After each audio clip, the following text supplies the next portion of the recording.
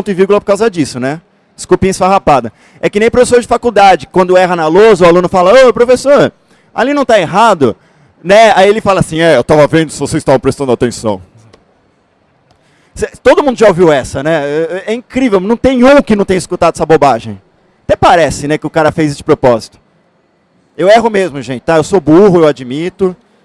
Então tenham paciência comigo, tá? Vamos fazer umas coisinhas boas aqui então. Aqui minha colinha. Vamos lá. É, eu vou criar uma entidade agora no Ogre. Dentro do nosso framework instanciado. Tá, eu vou fazer como uma propriedade da classe. Vou tentar, porque eu estou de costas. Vamos ver se eu me ajeito aqui enquanto não vem o, o divisor. Vai para lá suquinho. Vai para lá pão. Beleza? Tá todo mundo me vendo aí? Vamos lá. Então, deixe-me achar aqui a, a declaração do... É esse aqui? É. Então tá aqui. Vou criar uma área particular.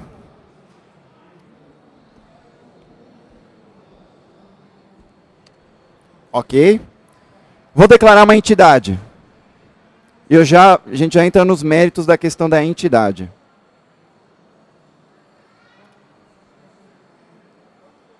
Pessoal, esse negócio de eu ficar usando ponteiro toda hora, tá claro? Sem crise. Então vamos lá.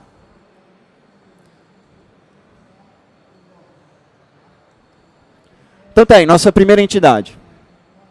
O que, que é uma entidade para o Ogre? E é importante entender isso. A entidade é apenas a malha, o material do objeto 3D e o esqueleto dele. A entidade por si só não tem posição no mundo 3D. Ela existe, ela é carregada, alocada na memória, mas para você conseguir fazê-la aparecer na tela, você tem que inseri-la na hierarquia de cena. Quando você carrega a entidade, ela não vem inserida, você tem que fazer isso depois. Como que o Ogre trabalha? Não é só o Ogre, a grande maioria dos engines gráficos, eles trabalham com Cine Nodes, nós de cena. Então lembra que a gente criou o Cine Manager, o gerenciador de cena? Ao criar o Cine Manager, por padrão, ele cria um nó raiz. Você não precisa criar, ele já cria para você. Já está dentro do Cine Manager. E é dali que você começa a fazer a hierarquia da sua cena você vai vinculando outros nós e nos nós você vai vinculando entidades. Então é importante entender essa relação. Você coloca um nó e anexa a entidade no nó. Tudo bem? Então vamos lá. Primeiro aqui eu fiz a entidade. Eu não preciso fazer um, uma, um ponteiro para nó, porque a gente consegue pegar fácil a partir da entidade. Então, na hora que você precisa, você vai lá e requisita. Tá? Então, eu não vou fazer um ponteiro para um Cininode aqui. Beleza, criei minha entidade aqui. Uh, vamos lá, onde está? Aqui, OnCineStart. Lembrando, o OnCineStart é para você fazer alocações do que você quiser. Lembram? Então é o seguinte, agora aqui eu vou ter que copiar um negócio. Deixa eu pegar. Não, acho que já está aqui. Uh, tá. Só confirmar se já está no lugar certo que eu aproveito e já mostro. Ah, já está aqui. Dentro da pasta do, do bin, debug, do ogre, eu criei uma pastinha mídia. Por quê? Só para isolar o que eu ia usar nos exemplos. Eu não fiquei usando as pastas do ogre porque não tem nada a ver. Né? O ogre não é o centro das atenções, não se esqueçam disso. Então está aqui, dentro dessa pastinha, eu tenho quatro objetos. Uma imagem, uma malha 3D. Que beleza, virei palestrante VIP. Agora eu tenho tripé.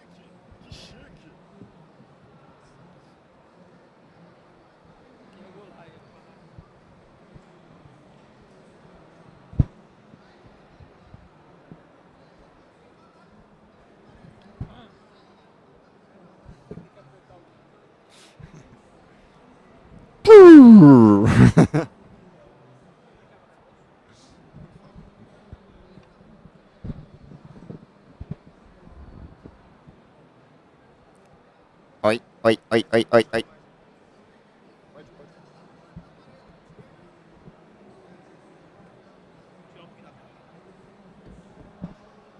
Gente, que bacana, eu tô me sentindo até o Roberto Carlos agora, né? Coisa horrível. Som, som, som. Oh, bacana isso aqui. Quem sabe agora eu erro menos, ponto e vírgula. Vocês não sabem, eu tomei bronca da minha filha ontem. Ela falou: se você errar ponto e vírgula de novo, você vai ficar uma semana sem jogar Zelda. Como assim? Tá vendo? Tomo comida de rabo até em casa. Sacanagem. Bom, vamos lá. Pô, bacana isso aqui. Então, eu tenho quatro objetos nessa pasta. Primeiro esse JPEG aqui. Ah, não é esse aqui que eu queria, caramba. Agora tá fácil. Vamos lá. Deixa eu pegar aqui no Code Blocks. Também se não tiver aqui é até, até melhor para mostrar o caminho das pedras que eu fiz para chegar nisso. É, não está aqui. Obrigado. É o seguinte, no Ogre, uh, tudo relacionado a objetos 3D vem em arquivos separados. Então, enquanto eu estou falando, eu tiro. Ha! Então é assim, malha 3D é um arquivo. Só vai ter os pontos e a conexão entre os pontos. Acabou. Vai ter também uma indicação de, de quais materiais ele está usando, mas o material não está ali. O segundo arquivo é o arquivo de material, que é esse ponto material que vocês estão vendo. Lá dentro ele vai ter um script que parece linguagem C, onde você vai declarar as imagens, o, o tipo, tudo que você tem é, lá dentro de material. Luminosidade, se, você, se ele uh, aceita luz difusa, especular, uh, quais são as texturas que você vai aplicar, Shader, você começa aplicando por aqui, mas não vou entrar nesse mérito. Então esse é o segundo arquivo. E, em anexo, você tem que ter, lógico, as imagens de textura, que o, o arquivo material fica fazendo referência. Que no caso aqui é esse blue jaiqua.jpg. É a única textura do arquivo de material. Por fim, você tem o arquivo de esqueleto. O arquivo de esqueleto ele tem os bones, quais vértices estão ligados em quais bones e as animações.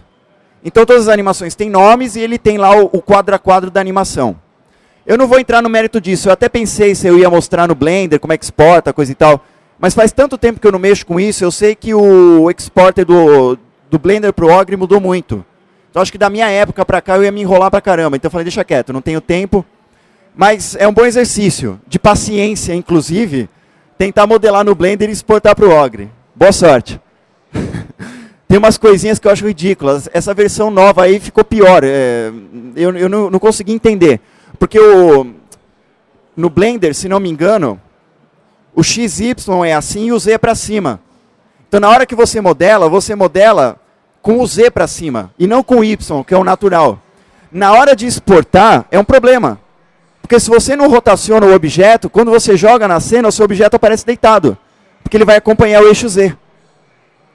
O exporter antigo, ele tinha como você rotacionar. Ele fala, ó, rotaciona 90 graus no eixo tal. Então você tinha como exportar correto. Esse novo não tem mais. Então antes de exportar, você tem que pegar todo o seu objeto, rotacionar, exportar, depois você volta ele para o lugar, para continuar modelando. É um lixo. Mas enfim, né? Mas a gente não pode falar nada, porque depois que você fala que o Blender é uma porcaria, tudo bem, dá pra fazer um monte de coisa nele. Mas se você tentar criticar, sai de baixo. Porque o pessoal vai falando, é de graça, código fonte aberto, você quer mais o quê? Já viram isso? Meu, eu ouço isso de monte. Você falar isso, você é um fresco. Não, é verdade, o pessoal acha que está fazendo um favor para você. É, eu já dei o código, pô, o que mais você quer? Eu quero um produto bom. Ponto final. Oi? O problema de deixar o Y para cima é que se você usa o table turn para modelar, porque eu não consigo modelar com o, é, girando nos três eixos, o table turn só funciona no eixo Z. Sabe, aquele que, como se você estivesse mexendo numa mesa giratória. Porque ele só gira, ele, ele, não, ele não inclina a câmera com esse table turn. Só funciona no eixo Z, ele não te dá o eixo que você vai fazer o table turn. Se desse, beleza. É simples, mas não implementam. Deixa quieto. Chutação de balde à parte. Eu estou falando mal, mas a maioria dos jogos lá que a gente fez, a gente usou Blender, tá? Mas é por isso que eu posso falar com, com propriedade. Eu conheço o desgraçado. Então eu posso falar que ele é um desgraçado. Vocês não, eu posso. Brincadeira. É, então tá. Então é o seguinte. Só que eu não vou usar esse Jaipa. É, é um modelo bonito, só que as animações dele são horríveis. Tá tudo quebrado, cortado, o loop dele não é bacana. Então eu vou pegar um outro objeto aqui para a gente fazer os testes, que é o do robozinho. Né, o, o robozinho é bem modelado, as animações dele são boas, né, ele funciona direitinho. Então vamos lá. Mídia. Vamos pegar primeiro o modelo. Então onde está? Robot. Opa, tem dois aqui. Vamos copiar e colar aqui. Tá aí. Robô, robô.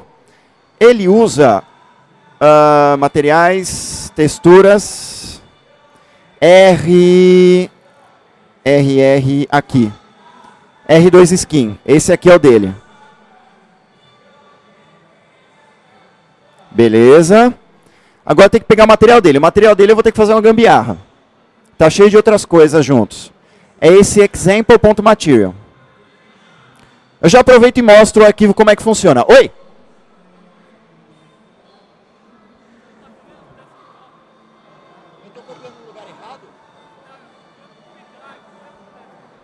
Obrigado. Deixa eu copiar lá, porque eu também não tenho no pendrive, eu copio para o lugar certo. Obrigado por avisar. Ó, programação em dupla, tá vendo? Funciona. Desenvolvimento ágil, cara.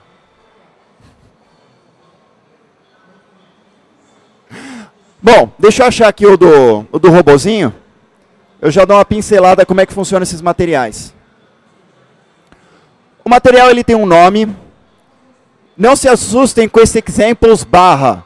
É nome, não é pasta, não é porcaria nenhuma, faz parte do nome, tá? Apesar de parecer é, diretório, qualquer coisa assim. Se eu tirar isso aqui não faz diferença nenhuma, tá? É uma string normal. Então eu vou, deixa eu copiar primeiro aqui.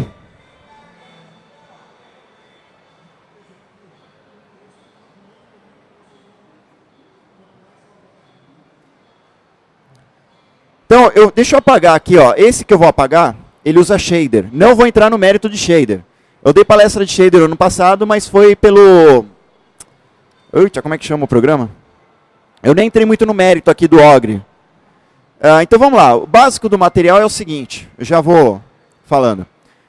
Tá vendo? É como se fossem namespaces. Você tem dentro do material uma área de técnica. O que, que é uma técnica? É um estilo de, de aplicação de material. Então, você pode ter mais de uma técnica no seu objeto. Como assim? Você pode, por exemplo, ter uma técnica que usa shader 3.0. Só que nem todo mundo aceita shader 3.0. Então, o que, você faz? Você cria uma outra técnica baseada em shader 2.0. Nem todo mundo aceita shader 2.0, então não tem problema. Você faz uma outra técnica shader 1.0. Não aceita, aí você manda comprar a placa de vídeo. Não, brincadeira. Aí você faz uma técnica simples, que é essa daqui que é, pode ser usado por qualquer placa de vídeo. Não usa shader, é uma aplicação normal. Passa por Transforming Lighting, não precisa de nada de shader. O pipeline normal de renderização 3D. Então, dentro da técnica, você define um passo. Passo é mais jargão de shader. Você pode fazer um, um, uma aplicação de material em fases. Tem um porquê que eu não vou entrar no mérito disso, mas o mais simples usa um passo só. Tá? Para inici início de conversa, deixa do jeito que está, um passo só. Um passe pode ter mais do que uma unidade de textura. O Ogre pode misturar as texturas se você quiser. Você dá um efeito que você quiser, ele vai lá e mistura. Só tem uma unidade de textura aqui. E dentro da unidade de textura você fala texture, o nome do arquivo. O arquivo de imagem, o JPEG no caso. Simplesinho, né? No início, eu nem recomendo que vocês façam coisas muito mais complicadas do que isso. O manual do Ogre, ele tem tudo explicando direitinho todas as opções que você pode colocar aqui dentro dos materiais. Essa parte é bem documentada. Então não vou entrar muito no mérito. Saibam que existe depois vocês dão uma xeretada. Tá? O Blender, na hora que exporta, ele, ele, ele exporta direitinho o material. Inclusive, se tiver que ter mais de um passo, mais de uma técnica, ele consegue fazer. Dentro das, das limitações dele, mas ele faz direitinho. Tá? Então eu vou salvar esse arquivo aqui. Lá no lugar certo de preferência. Bin, debug, mídia. Uh, eu vou chamar de robot. Ponto. Material.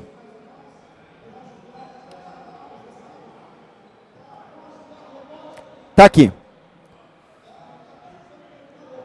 Bom, foi o único que eu fiz direito aqui, né?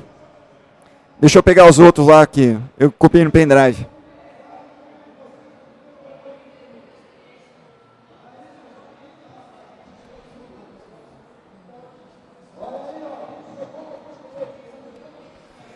Vamos jogar no lugar certo aqui.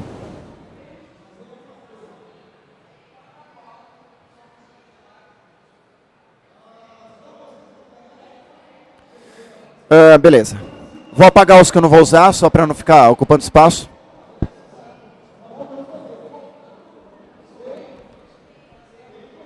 Ok. Então eu tenho uma malha de um robô com a textura, material aplicado e o esqueleto com as animações dele. Então vou voltar lá no CodeBlocks agora. Para eu conseguir carregar uma, uma entidade no Ogre, eu tenho que fazer mais alguns passos. Porque eu tenho que carregar ele como um recurso interno do meu programa. Então, tem mais algumas linhas que eu preciso adicionar aqui. Assim que eu achar. Se eu não achar, eu colo do programa mesmo. Não tem problema.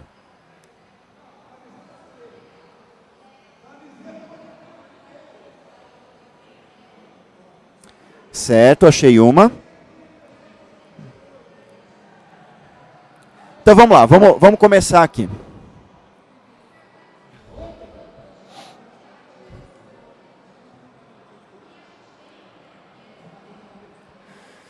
Deixa eu mostrar o arquivinho antes do Ogre, para explicar direito o que está acontecendo. O Ogre ele trabalha com arquivo. Normalmente a gente não vai usar esse arquivo. resources.cfg. Qual é a ideia disso aqui? Você joga todos os arquivos que você vai usar no seu programa, pastas, está tudo aqui, ó. Então, por exemplo, você pode jogar os seus arquivos no, no arquivo zip. O Ogre consegue ler dentro do arquivo zip.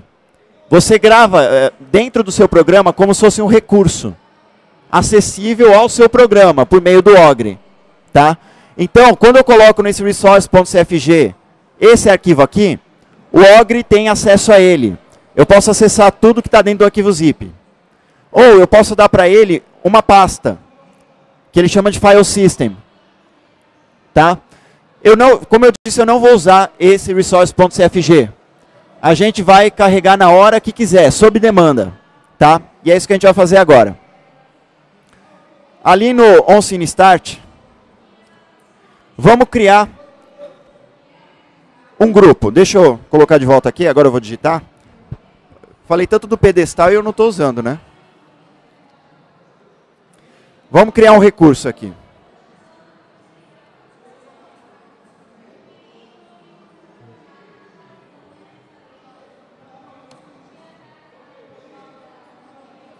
Eu já explico o que é esse singleton.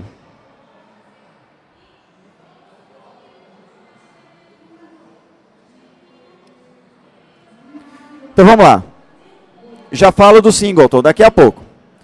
Primeiro parâmetro dele é o nome que eu vou dar para o recurso. Uh, vamos chamar de CPE, seguindo a nossa linha de raciocínio. Local. Não, desculpa, é tipo. É file system, que é uma pasta que eu vou passar para ele.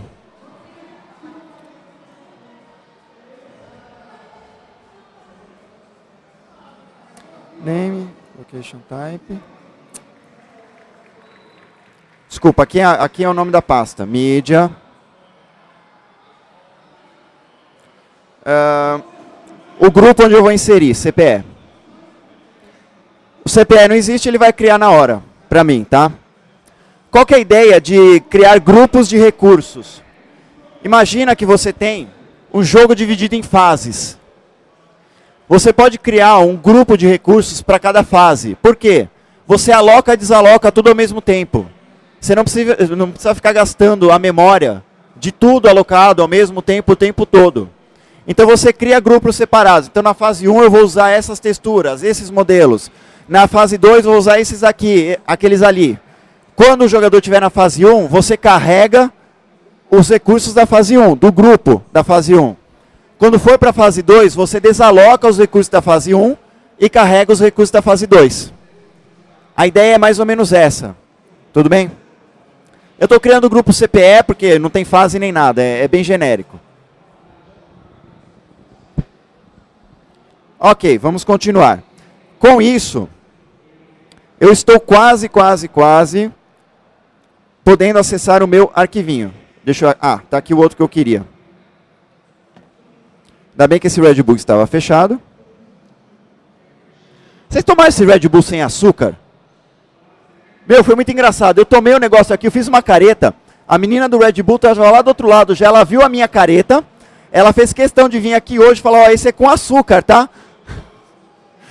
Nossa senhora, a careta que eu fiz foi feia mesmo. Vamos lá. Agora que eu criei, uh, eu só apontei para o recurso, mas eu não inicializei ele. Eu só falei, olha, esta pasta me interessa. Essa linha que eu vou colocar agora é a linha que vai ler a pasta, ver todos os arquivos que estão lá dentro. Se tiver scripts, ele já vai interpretar os scripts e já vai deixar tudo no gatilho para a gente utilizar. Tá? É com essa linha agora.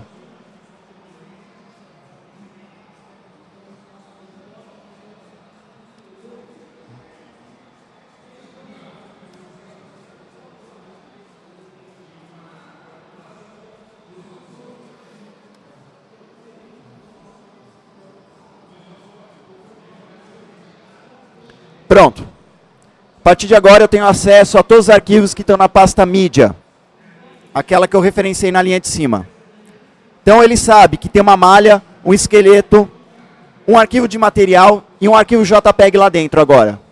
Tá? Ele já identificou os scripts, que nem o script de material, ele já interpretou e já apontou para todos eles. Então daqui para frente eu tenho acesso a todos os arquivos que estão lá dentro. Tudo bem? É meio automágico isso no Ogre. Ele tem um Initialize All Resource Groups que eu não recomendo. Porque você começa a ficar preguiçoso. Ah, inicializa tudo de uma vez. Não, pera lá, vamos economizar memória. Tá? Então, inicializa só os grupos que você realmente vai usar. Faça isso sob demanda. Tudo bem? Todo mundo sabe o que é um singleton? Quem sabe o que é um singleton? Deixa eu ver. É. Uh, quem já ouviu falar em design patterns ou padrões de projeto? É interessante isso, porque deveria ser uma coisa obrigatória em faculdade de engenharia de software, ciência da computação, qualquer um que envolvesse programação orientada a objeto. Tinha que falar de design patterns ou padrões de projeto. Não tem segredo, são regras, é, boas, é, conjunto de boas práticas de orientação a objeto são formas de construir programas que são usadas tão é, correntemente que o pessoal descobriu padrões de formação desses programas. Então, ah, quando eu quero fazer um programa do tipo tal, a classe ela sempre herda de tal maneira e sempre tem dentro dela um outro tipo de objeto. Então eles começaram a perceber determinados padrões para determinados tipos de programas. Daí surgiram os padrões de projeto. Singleton é um desses padrões o que, que é esse padrão? É assim: você tem uma classe que deve ser instanciada uma e apenas uma vez no seu programa. Você não pode deixar que ele seja instanciado duas vezes, três vezes. É uma vez e acabou. Porque se instanciar duas vezes, vai dar pau no seu programa. Quer um exemplo prático aqui? Placa de vídeo. Você inicializou lá o seu é, renderizador na placa de vídeo. Se você tentar é, inicializar outro renderizador na mesma placa de vídeo, vai dar pau, porque ela já está ocupada. Ela já foi alocada para aquele objeto.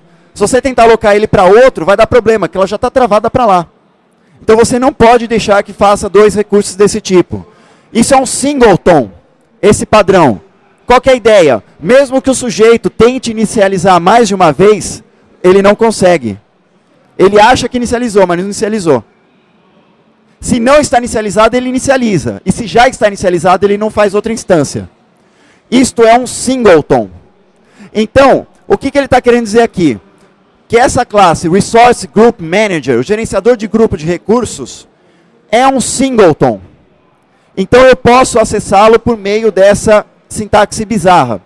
Não é que é bizarro. Na verdade, esse get singleton, esse método, é um método estático. Noção de método estático, todo mundo conhece? É aquele método que não é instanciado junto com, a, com o objeto, né? É o mesmo para todo mundo. Então, como ele é um, uma, um método estático, eu posso acessar do nome da classe, dois pontos, dois pontos, nome do método. Quando eu faço isso, é nessa função que ele está olhando. Deixa eu ver, a classe já foi instanciada? Não, instancio agora. Já foi instanciada? Ignoro. E dou o que já foi instanciado para ele de volta. Então ele me deu uma referência para a instância do, da classe Resource Group Manager. É isso que esse get singleton. Então, como ele me deu uma referência, eu uso ponto. Muito cuidado com isso. Percebam que depois get singleton é ponto, não é hífen maior. Porque não é ponteiro, ele não me deu um ponteiro, ele me deu uma referência. Tá? Cuidado que isso aí também é, é erro bobo que a gente erra pra caramba na hora que começa a mexer com essas porcarias. Bom, então a partir do momento que eu peguei o singleton, eu adiciono um local de recursos, que no caso é uma pasta chamada mídia, é um tipo file system, que é o nome que o Ogre dá para pastas, dentro do grupo CPE. Eu acabei de criar esse grupo. Ele vai ver, se não existe, ele cria para você. Na linha de baixo, eu inicializo tudo que está no grupo CPE. No caso, é só a pasta mídia e o que está lá dentro. Beleza? Então, vamos criar agora a entidade. Mas vamos com calma, deixa eu compilar, já detectar algum, se vai dar algum erro. Eu gostei do pedestal, mas vocês perceberam que eu não paro nele, né? Vou de um lado para o outro. Tipo, se fazer yoga, tai chi, eu fico muito agitado, sei lá eu. Tá, até aqui compilou. Vamos continuar. Aqui ainda criando a nossa cena. Lembra que eu declarei aquele mEntity 1? Vamos começar a brincadeira aqui. Primeiro, uh, eu vou criar ele direto. Quem cria é o Cine Manager. Por quê? Porque a entidade é um objeto de cena. Não é mais atribuição do root fazer entidade. O root trabalha com tudo que for inicial. Inicializar a placa de vídeo, criar o Cine Manager, tudo mais. Tudo que for relacionado à cena é o Cine Manager que cria. Então, luz, câmera, entidade, nós, é tudo o Cine Manager que faz. Ok?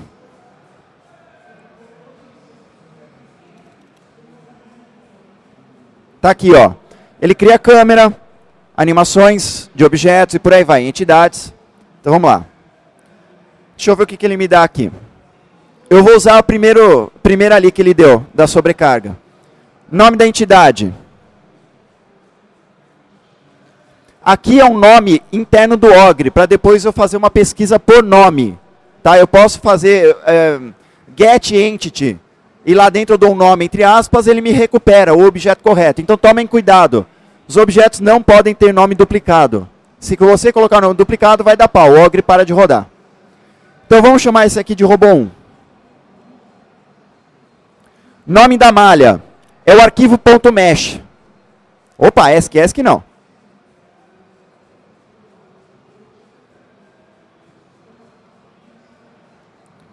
Tá aí, tá criado. Difícil, né? Finalmente uma coisa fácil no Ogre. Bom, mas calma que não acabou. Se eu deixar assim, o robô vai aparecer na tela? Por quê? Não, o play já está lá. Vai, ele vai aparecer na cena? Oi? A câmera já tem. Exatamente, ele não está na cena. Eu só criei a entidade, ele não tem cena ainda. Eu vou ter que inseri-lo. E o que, eu, o que eu falei agora há pouco? Eu insiro ele num, num nó. Então eu tenho que criar um nó e inserir a entidade dentro do nó. Então vamos criar um nó. Ogre, Cine, Node. Uh, MCine Manager.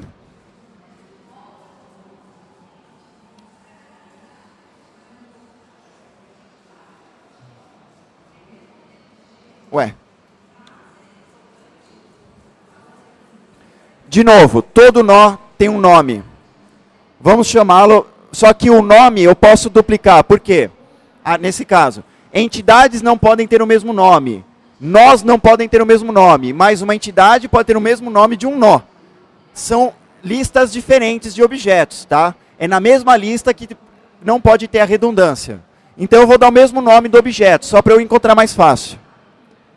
Opa, aqui não. Beleza. Vamos posicionar o nó.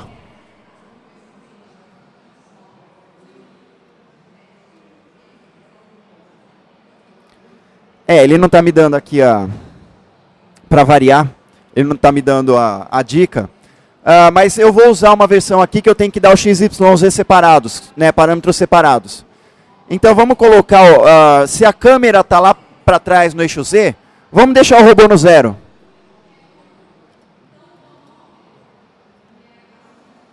Tudo bem?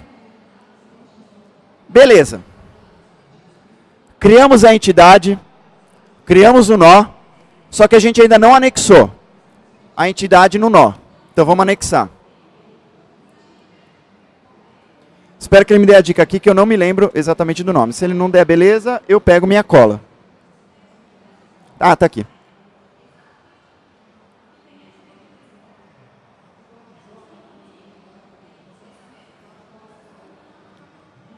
Tá aí. Attach object, anexe objeto. Eu dou para ele como parâmetro um ponteiro para algum objeto de cena. Porque na verdade, a maior parte dos objetos de cena, todos derivam de um objeto básico chamado, surpreendentemente, object.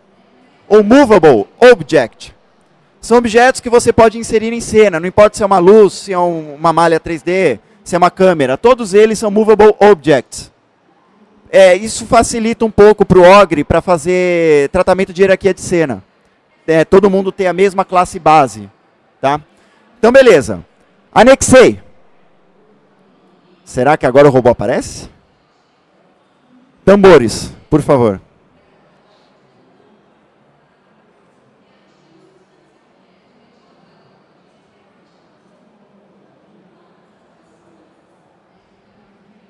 Vamos confirmar se está no lugar certo, os arquivos, mídia.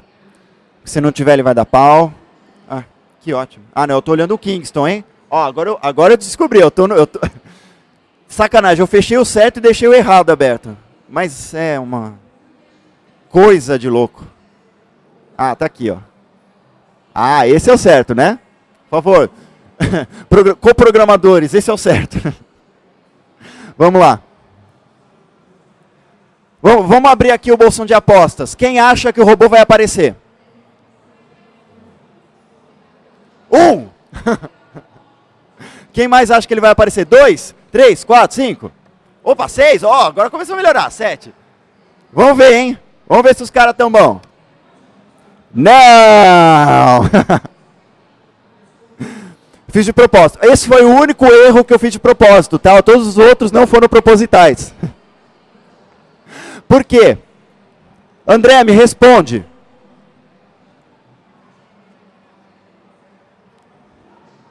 É isso mesmo. Percebam que eu criei um nó.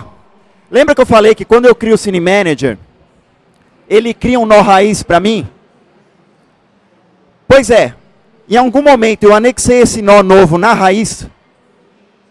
Se não estiver anexado na raiz, ele não entende que está na cena. Então não adiantou nada, eu criei um nó fora da raiz, fora da hierarquia. Tá tudo bonitinho, mas o nó está no lugar errado. Então vamos corrigir isso. Para corrigir isso, deixa eu jogar um pouquinho para lá. no Cine Manager, eu vou pegar o nó raiz. Certo? Ele vai me retornar um ponteiro para esse Cine Node. Agora sim, a partir do nó raiz, eu crio create child Cine Node. Criar um nó filho. Agora sim, eu estou criando nó e anexando na hierarquia de cena. É um filho da raiz. Então, a partir de agora, tudo que eu anexar nesse nó vai aparecer. Pelo menos tem que aparecer. Vamos continuar.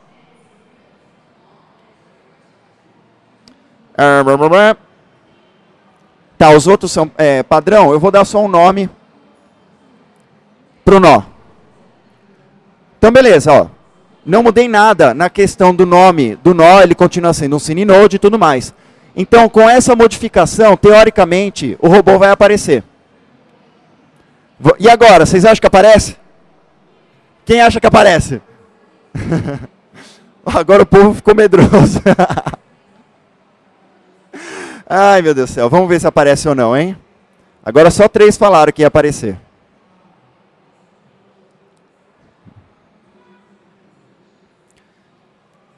Enquanto ele não compila, eu vou contar uma piada. Brincadeira. Vamos lá. Não apareceu. Essa não era para acontecer. Deixa eu ver se eu errei alguma coisa. Calma, calma, calma. Muita calma nessa hora.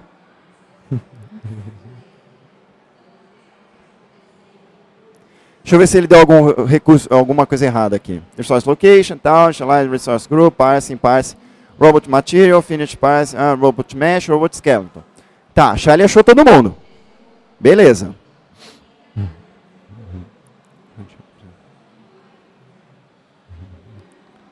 Node 1, attach object. Até aqui tá certo.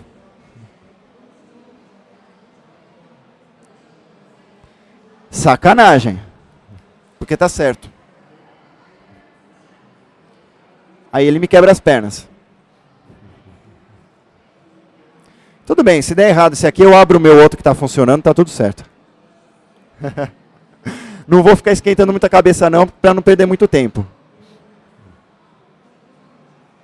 Você vê algum erro, André?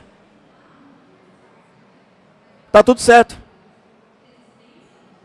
Estranho, né? Ah, eu sei. Calma, há esperança. Pera lá. Só ver uma coisa. Deixa eu ver onde está a câmera.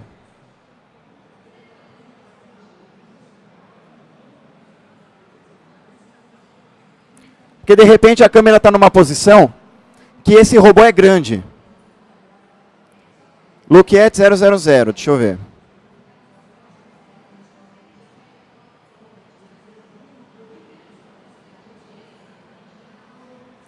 É, já era para ter aparecido aqui. Pela, pela posição.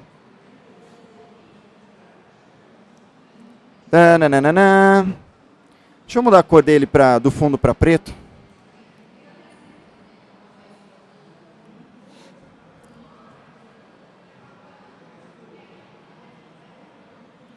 Aqui está tudo certo. Já viram o Faustão? É a mesma coisa. Quando ele está fazendo lá o Se Vira nos 30, que acontece tudo errado na hora, ele falando, ó, oh, isso é televisão ao vivo.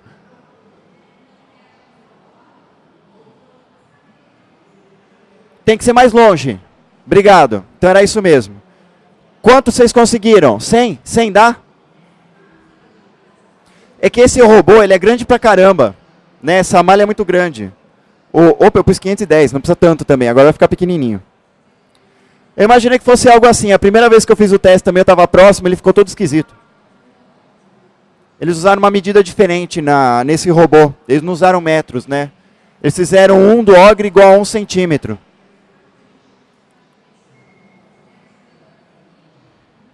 Valeu? É isso mesmo, a câmera estava muito próxima. Então tá, isso é um pé de robô. Por qual é o problema, né? A câmera está olhando para o 000. Só que o centro, entre aspas, relativo do robô está no pé dele. É o normal. Se vocês já tentaram animar um, um personagem, vocês sabem que vocês têm que colocar o centro dele nos pés. para não ter problemas de animação no final das contas, na hora de pegar e uh, fazer ir para frente, para trás e tal. Então, normalmente o centro você desloca para os pés.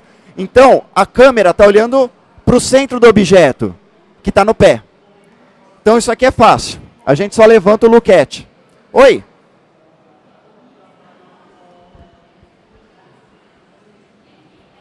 Por que, que a tela não está vermelha? Tá. Ó, leitura labial. Eu não, eu não escutei nada que ele falou. Pera aí. É, é o seguinte, eu não, eu não sei se eu expliquei isso direito. Tá aqui, ó. Quando você criou o viewport, você tem essa opção aqui, esse método, set background color. Configurar cor de fundo. Lá dentro eu dei um, uma estrutura que é valor de cor. Esse valor de cor tem três parâmetros. São três números é, de ponto flutuante. O primeiro é a quantidade vermelho, o segundo é a quantidade verde e o terceiro é a quantidade azul. Só que aqui não vai de 0 a 255, ele está normalizado, vai de 0 a 1. Então 1 seria vermelho máximo, ou o máximo de qualquer canal.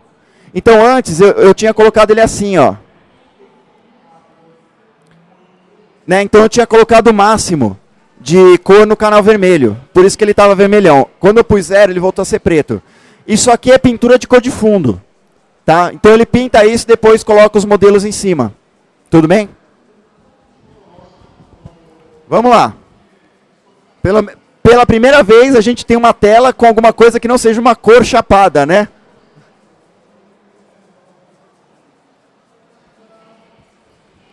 Eu entendi até o setar o valor mínimo da proximidade. Ah, ah sim. Você está falando da, até que ponto ele consegue chegar de pé? Tem. É o set near clip distance, se não me engano. Tá? É, é uma coisa que se configura normalmente no começo. Eu pulei porque não, para dar uma facilitada no negócio. Mas se não me engano é set near clip distance. Você configura no, na câmera. Tá? Vamos lá. Ok, vamos dar esse look at aqui. A gente quer fazer ele olhar mais para cima. Então, vamos jogar uns, sei lá, 50 no eixo Y. Para ver se a gente consegue olhar melhor o robô.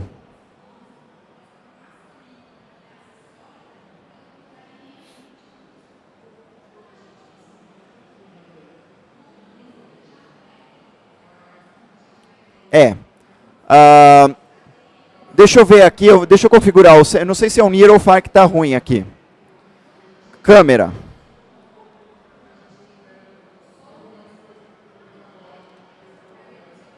Cadê Near? Clip Distance, aqui ó. Meu Deus! Socorro, socorro! Os bombeiros já estão vindo.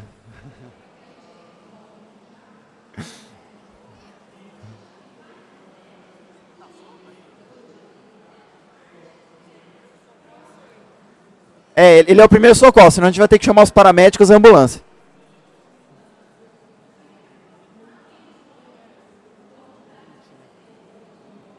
Uh, então, vocês conhecem aquela do papagaio e do português? Até aqui, alguma dúvida? Aproveitar. Ó, ó, ó.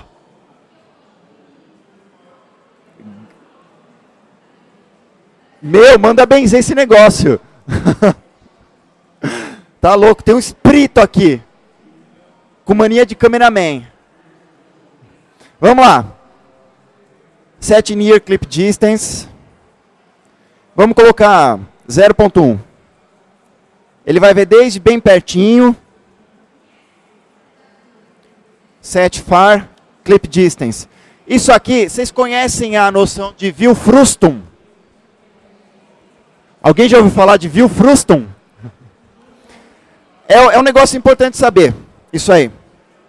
Numa câmera virtual, uh, você tem que entender que, na verdade, o que ele está fazendo é uma projeção. Você tem um, um retângulo, dentro, um quadrado dentro do mundo, e de lá você vai projetar linhas perpendiculares a cada ponta desse retângulo. Esse paralelepípedo que é gerado quando você projeta as linhas, é o que você vai ver pela câmera. Na verdade, o que eu estou falando aqui é uma, uma vista isométrica, que não tem perspectiva. Normalmente, em qualquer câmera, ela tem uma, um ângulo de abertura, não tem? Porque a lente ela tem uma curvatura. Então, normalmente, a, o que você vê numa câmera, ela forma um. Como é que chama? Quando você corta um pedaço de, um, de uma pirâmide, um tronco de pirâmide. Então, imagina uma pirâmide, corta a pontinha dele e arranca fora. Isso é o que forma. Imagina que eu sou a câmera.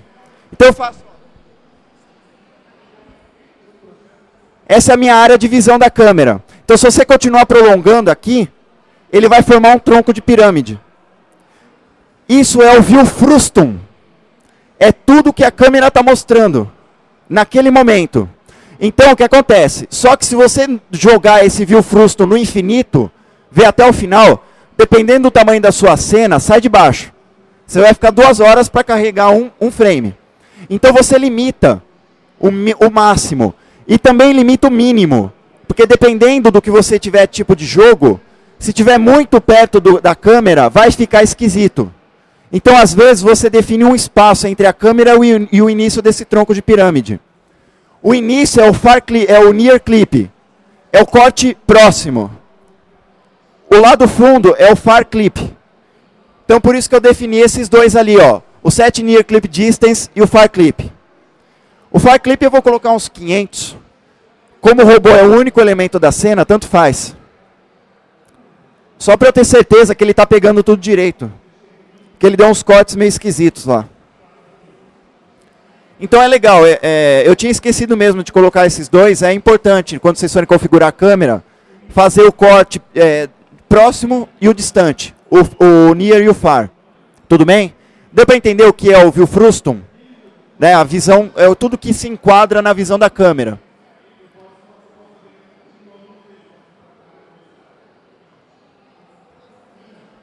É, só que ele está sem cabeça mesmo. Muito interessante isso. Tudo bem. Temos um robô decepado. Incrível isso. Deixa quieto. Eu só vou afastar um pouco mais a câmera para pegar ele inteiro. Eu vou colocar 200 aqui.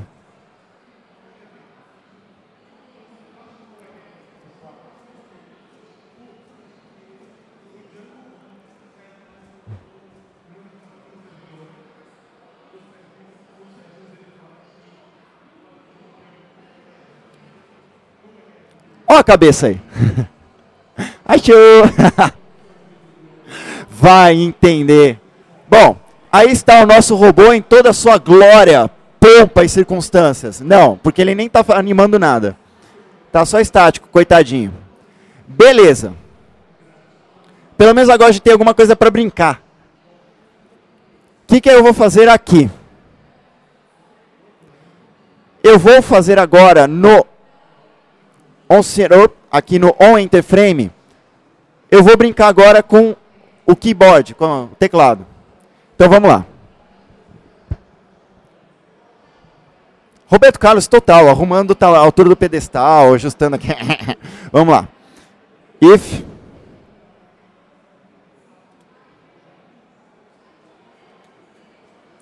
Obrigado, Codeblocks.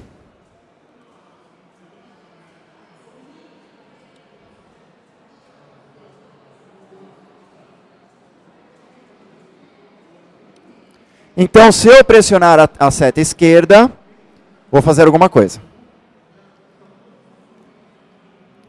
Qual que é a intenção aqui? É rodar o nosso robozinho. Existem algumas maneiras de fazer isso, tá? Uh, deixa eu ver se eu mostro uma... Deixa eu mostrar mais meia boca primeiro. Ah, Detalhe, eu já ia cometer um dos erros. Ah, não, eu, eu não ia cometer um erro, é aqui mesmo. Eu não giro a entidade, eu giro o nó no qual ele foi anexado. Quem tem posição, rotação e escala é o nó. A entidade herda a posição, a rotação e a escala do nó. Beleza? Então, get parent node. Beleza, agora sim. Eu vou fazer um Yao. Vocês sabem o que é Yao? Foi isso. é, não, é um, não é um cowboy fazendo, né? É outra coisa. Como é que funciona isso? Isso. Esse termo, na verdade, vem da aeronáutica. Já, existem três termos é, relacionados: é o pitch, yaw e roll. Em inglês, eles têm relação com a forma como você manobra um avião. Tá?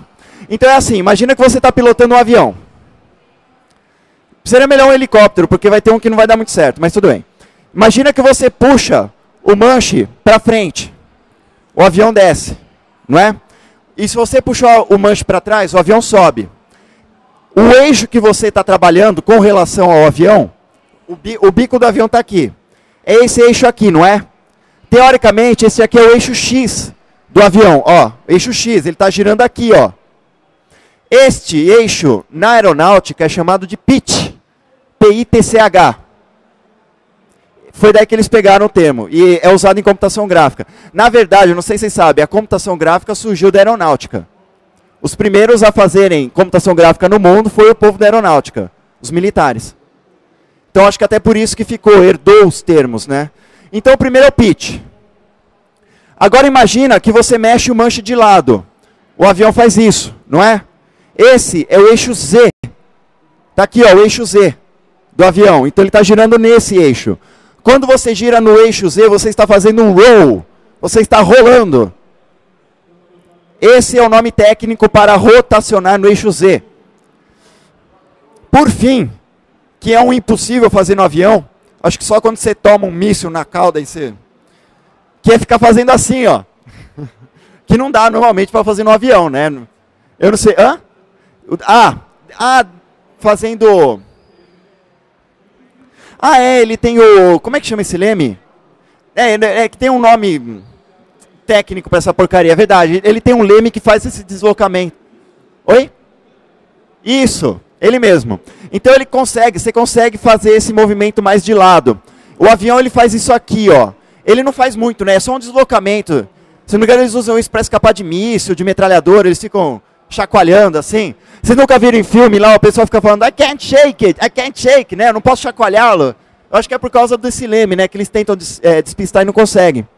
Então, quando você faz esse movimento com o avião, você está girando nesse eixo, que é o Y. Esse movimento é o IAL. Tá? Então, o que, que eu estou querendo fazer com o robô? Eu não apertei para a esquerda, eu, que, eu não quero que ele vá para a esquerda. Eu quero que ele rode nesse eixo. Não é o Y. IAL. Agora é o seguinte, pergunta. Vamos supor que eu queira rodá-lo 2 graus para a esquerda. Eu devo colocar 2 graus ou menos 2 graus?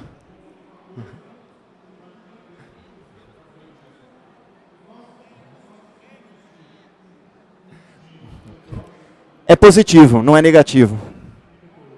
A regra é a seguinte, calma. Calma que eu explico. Lembra da regra da mão direita?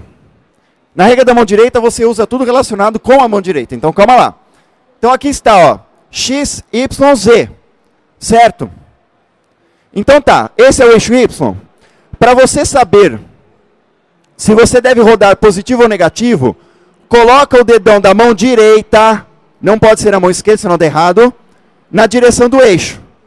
E gira o pulso naturalmente, para o lado natural. Esse é o lado positivo. Olha de cima. Que lado que eu estou girando? A gente vai descobrir agora, porque eu também me confundo.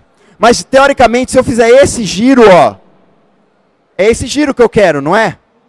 Então teoricamente é para a esquerda, porque se eu olhar para ele, ó, sentido do pulso, do giro do pulso, então deve ser esse. Vamos descobrir. Então vamos lá. O ogre, ele até trabalha com graus, mas o padrão dele é radianos. É que a gente, a gente não tem costume, os povos latinos não têm costume de usar radianos, só quem faz matemática que é, usa mais. Radiano é o correto, né? grau é muito arbitrário. 360 graus, não é que é arbitrário, tem uma explicação histórica para isso. Mas o radiano é o mais correto, porque é baseado em pi. Né? Então você tem dois pi radianos. que dá é, 6,28 aproximadamente, né? Se tem num círculo 6,28 radianos. Para o nosso caso não interessa muito isso. Como que eu vou declarar aqui dentro? O pedestal. Bonitinho, né? Eu mandei trazer e não uso, é sacanagem. Então tá aqui, ó. Dentro do IAL, eu vou dar um radiano para ele. Eu vou criar na hora o radiano. Se eu tentar passar um valor real, é capaz de não dar certo. Então eu vou passar o radiano direto. Não deem valores muito grandes, tá? Porque senão o bichinho vai ficar louco. Vamos começar com 0.05. Se vocês acham que é pouco, calma. Acreditem, não é. E vamos ver se a gente acertou na teoria do positivo. Ou pelo menos se ele está girando para o lado esquerdo, né? Porque de repente ele está girando para o lado direito. A gente está achando que é de um lado e é para o outro.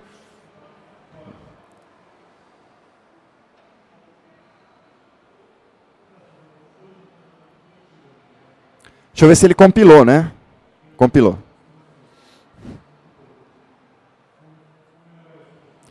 Talento? Não, né?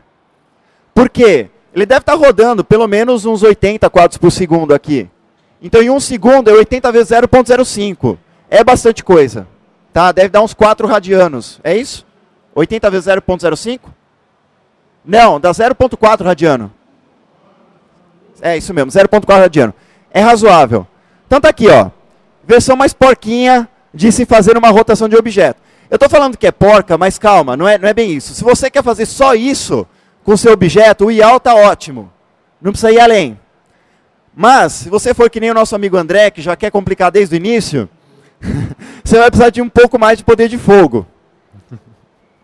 né? então calma que a gente chega lá. Eu falei que eu tinha uma surpresa para ele, eu, eu vou chegar na surpresa. Então, beleza. Este aqui foi versão porca. Vamos melhorar isso aqui um pouquinho. Vamos fazer um pouco mais com cara de, de, de gente. É, só para saber, é, que horas são? Só para marcar nesse relógio aqui, porque aqui é 1h54. 9? Eu vou usar o dela que está um minuto a mais. para eu, me, eu me orientar aqui.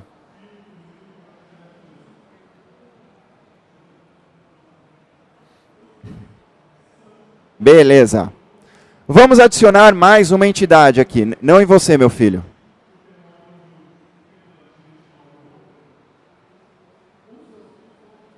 Está aqui, entidade 2. Vamos fazer tudo de novo com a entidade 2.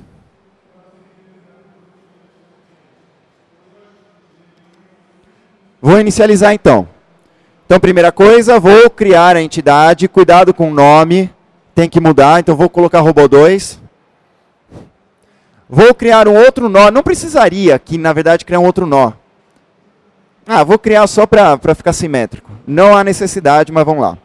Então, nó 2, get root syninode, create child syninode. Vou criar um novo nó, robô 2. Vou colocá-lo mais à esquerda do nosso amiguinho que já está lá. Se a esquerda é x negativo, olhando pela regra da mão direita, eu quero colocar para lá. Então, menos 50. Nó 2, claro. E por fim, vou anexar a entidade 2 no nó 2. Certo? Esse aqui é o padrãozão, ão, ão, para se colocar uma entidade numa cena. São essas quatro linhas. Tudo bem? Então, vamos ver se ele aparece lá, se a câmera pega.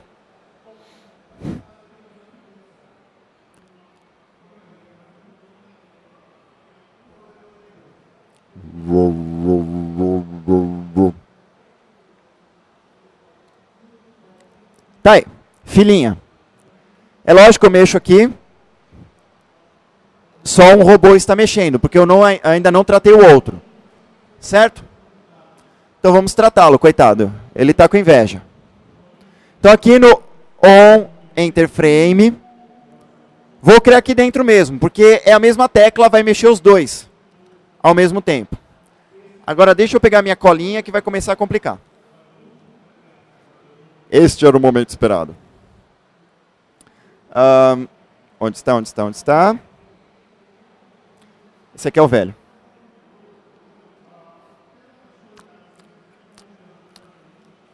Assim que eu achar a.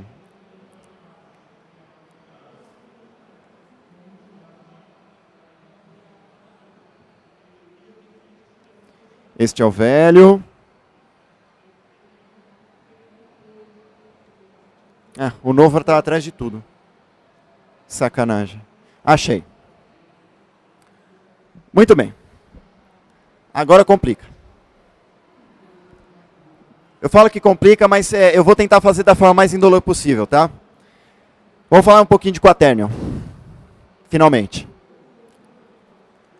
Quaternion é um bicho matemático que quase ninguém conhece, que vocês podem entender a priori como um vetor de quatro dimensões.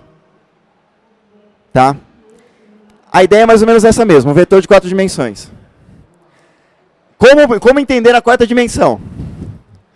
Aí eu deixo para cada um, chá de cogumelo, sabe? Vai, vai atrás daqueles índios que tem. Aí vocês descobrem que é a quarta dimensão. Mas não precisa chegar nesse ponto. A gente não vai trabalhar na quarta dimensão. Calma lá.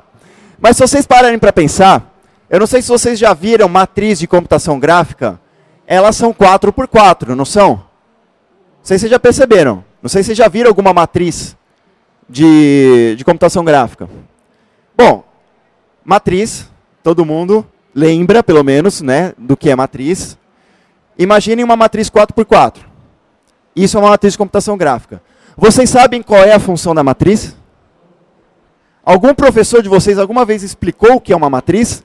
Além de ser uma sequência de linhas e colunas de números? Gente, eu acho impressionante, né? O que, que o pessoal ensina na escola? Eu não sei. Né? Matriz, uma sequência tem de N linhas e M colunas. Que bobagem! E daí? Né? O que, que é isto aqui? Né? Um CD é um objeto cilíndrico. Explicou o que é o CD? Para que, que serve? Né, uh, né, isto aqui é, é, é, um objeto com uma forma de um, um paralelepípedo que diz, tá, mas qual é a função dessa porcaria aqui? Ninguém fala. Vocês estão aprendendo matemática assim? É tudo assim na, na, na escola, é ridículo. Gente, matriz. Matriz do latim matrix. E aí todo mundo lembra do filme, né? Por que, que o filme Matrix chama Matrix? Você já parou para pensar? O que significa a palavra latina matrix? Alguém quer arriscar? O que, que é uma matriz e uma filial? Vamos pensar um pouco. Não, a gente não usa, ah, a empresa tem a matriz lá no, no, no bairro, não sei das quantas, de São Paulo, e tem uma filial em Santa Catarina. A matriz é o ponto de geração. Matrix é uma geração, é um gerador. É isso que é Matrix. Agora associa o nome com o filme e vocês vão entender por que, que chama Matrix. Por que, que aquele computador central é a Matrix. É essa a ideia.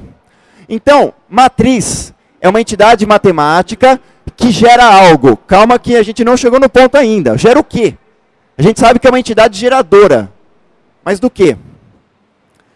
Uh, vocês já trabalharam com sistema de função?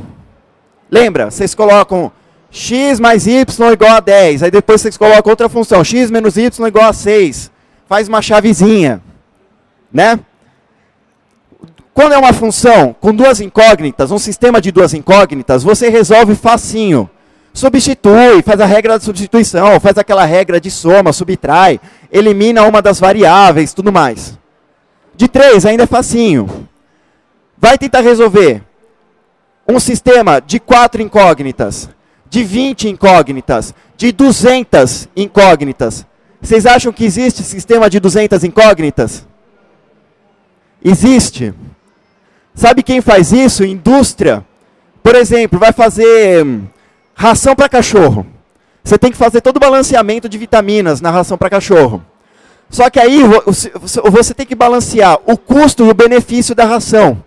Vai um monte de variável, porque tem o preço da carne, tem o tipo de vitamina que você vai colocar, que tem o preço, a quantidade, tudo isso é variável do sistema. Não, não, tudo bem, 200 variáveis é muito. Eu, eu falo menos, eu falo menos. Então, esses caras, quando vão fazer o cálculo para saber se a ração é viável, eu só estou dando um exemplo. Eles fazem todo esse sistema de equações de 200 incógnitas e resolvem o sistema. Vocês querem tentar resolver por método de substituição? Vocês vão ficar 20 mil encarnações para resolver o sistema. Só que tem uma solução. Existe uma luz no fim do túnel. As matrizes. Uma matriz é um sistema de equações. Acreditem se quiser. Tá? O resultado da matriz é o resultado gerador, é, o, é, o, é como se você conseguisse os valores de x, por exemplo, numa matriz 3 por 3, o resultado seria os valores de x, y e z. A ideia da matriz é mais ou menos essa. Porque quando o sistema de equação fica muito grande, você não consegue resolver na unha. Entra a matriz em jogo. Por que, que matriz é tão usado em computação gráfica? Pelo seguinte, computação gráfica é principalmente trigonometria. Seno, cosseno. Arco de seno, arco de cosseno, principalmente. Por quê? Você trabalha muito com rotações nos eixos. Só que tem um problema. Se você for resolver uma rotação de qualquer objeto em um sistema tridimensional, você tem um sistema de três equações. Só que você tem um sistema de três equações para cada eixo. Eu não vou entrar muito nos méritos, porque é uma decomposição. De cada vetor, você tem três vetores. Aqui, aqui, aqui. Você dá as coordenadas de cada um deles e você trabalha separadamente cada um deles. Você acaba tendo três sistemas de equação para conseguir resolver a rotação de um objeto. Então, o que, que acontece? Você primeiro rotaciona em x, depois rotaciona em y, depois rotaciona em z. Ou rotaciona primeiro em y, depois rotaciona em x, depois rotaciona em z. Aí você faz a ordem que você quiser. Qual é o grande problema disso? Processamento. Porque cada um deles são nove variáveis pelo menos. Que você vai ter que jogar nove valores que você vai ter que jogar para computar. Nove aqui, nove ali, nove ali. Para você fazer uma rotação. Você usa 27 valores para fazer uma rotação. Não é legal. Agora entra a matriz. A matriz tem uma propriedade bacana para a computação gráfica, que é a, a multiplicação. Vocês lembram da propriedade de multiplicação da matriz? Se você faz a matriz A multiplicado por matriz B, um, com as incógnitas, o que resulta, a matriz resultante, ela é matematicamente comprovado o resultado daquelas duas. Então o que você faz, na verdade, é uma espécie de concatenação de matrizes. A matriz C é uma concatenação de A e B, quando você faz a matriz A vezes a matriz B. Eu não sei se chegaram a falar isso para vocês também. É uma concatenação de matrizes. Então, qual é a grande vantagem? Se eu representar aquele sistema de três equações em uma matriz, eu dou uma desperto, eu faço uma matriz para x, uma matriz para y, uma matriz para z. Multiplico as três, crio uma matriz só. Essa matriz eu uso para fazer a rotação do objeto é muito mais barato em termos de processamento. E foi por isso que durante muito tempo matriz foi a grande base da computação gráfica. É, foi, ainda se usa muito. Né, o tal do XNA que deveria facilitar a vida da gente só usa matriz. Qual é o grande problema da matriz? Eu estou falando mal demais de XNA, eu tenho que ficar quieto. É, qual é o grande problema de matriz? você está fazendo, o que na verdade está fazendo é um sistema que ele chama de uh, ângulos de Euler. Euler é aquele matemático, é, que, Euler, né? Eu não falo, gente, não é Euler, é Euler. Euler é o filho do vento. Lembra do? eu não sei nem, porque o cara jogou faz um tempão, né? Depois sumiu. Mas é, é Euler. Então, foi o Euler que percebeu que você poderia fazer esse negócio de concatenação de matrizes, tal, fazer a rotação. Só que você tem que fazer um eixo, depois o outro, depois o outro. Se, por exemplo, eu fizer x, imagina que agora eu estou falando de matrizes. x vezes y vezes z. Ele vai me dar uma matriz concatenada. Ela é igual se eu fizer y vezes x vezes z? Não, porque não existe propriedade comutativa em multiplicação de matriz. Tá? Então a ordem é importante. Vocês podem fazer esse teste, quer ver? Eu vou pegar aqui, ó. Vamos pegar esse CDzinho. Eu vou fazer primeiro x, y, z. Eu vou rodar 90 graus em cada um deles. Então vamos lá. Ó, eu vou primeiro rodar em x. Agora eu vou rodar em y e depois em z. Terminou assim. Agora eu vou rodar Y, X, Z. Saiu ao contrário. Então, está provado que a ordem importa. Qual que é a ordem que se usa normalmente? É a famosa Yao Pitch Row, que você vai ver em várias bibliotecas de computação gráfica. Ou seja, primeiro você faz Y, depois X e depois Z. YXZ é a ordem padrão de rotação dos eixos de algum objeto 3D. Tá? Se você for usar matriz, você já sabe. Y, X, Z. E é o roll. Essa é a ordem mais correta. É a ordem usada para você fazer um simulador, um flight simulator.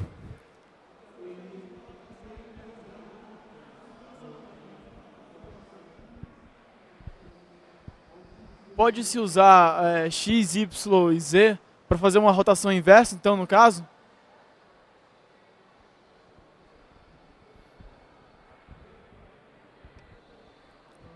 Depende do que você vai rodar. É que eu estou fazendo rotações em 90 graus, né? Acabou calhando isso. Eu não sei, é, teria que ver se tem algum estudo sobre isso, se existem as inversas, né? Mas é, é bom pensar na hora. Dependendo do que você for fazer, já para. Eu, eu fico toda hora. Quando eu, tava, eu ficava programando, eu ficava.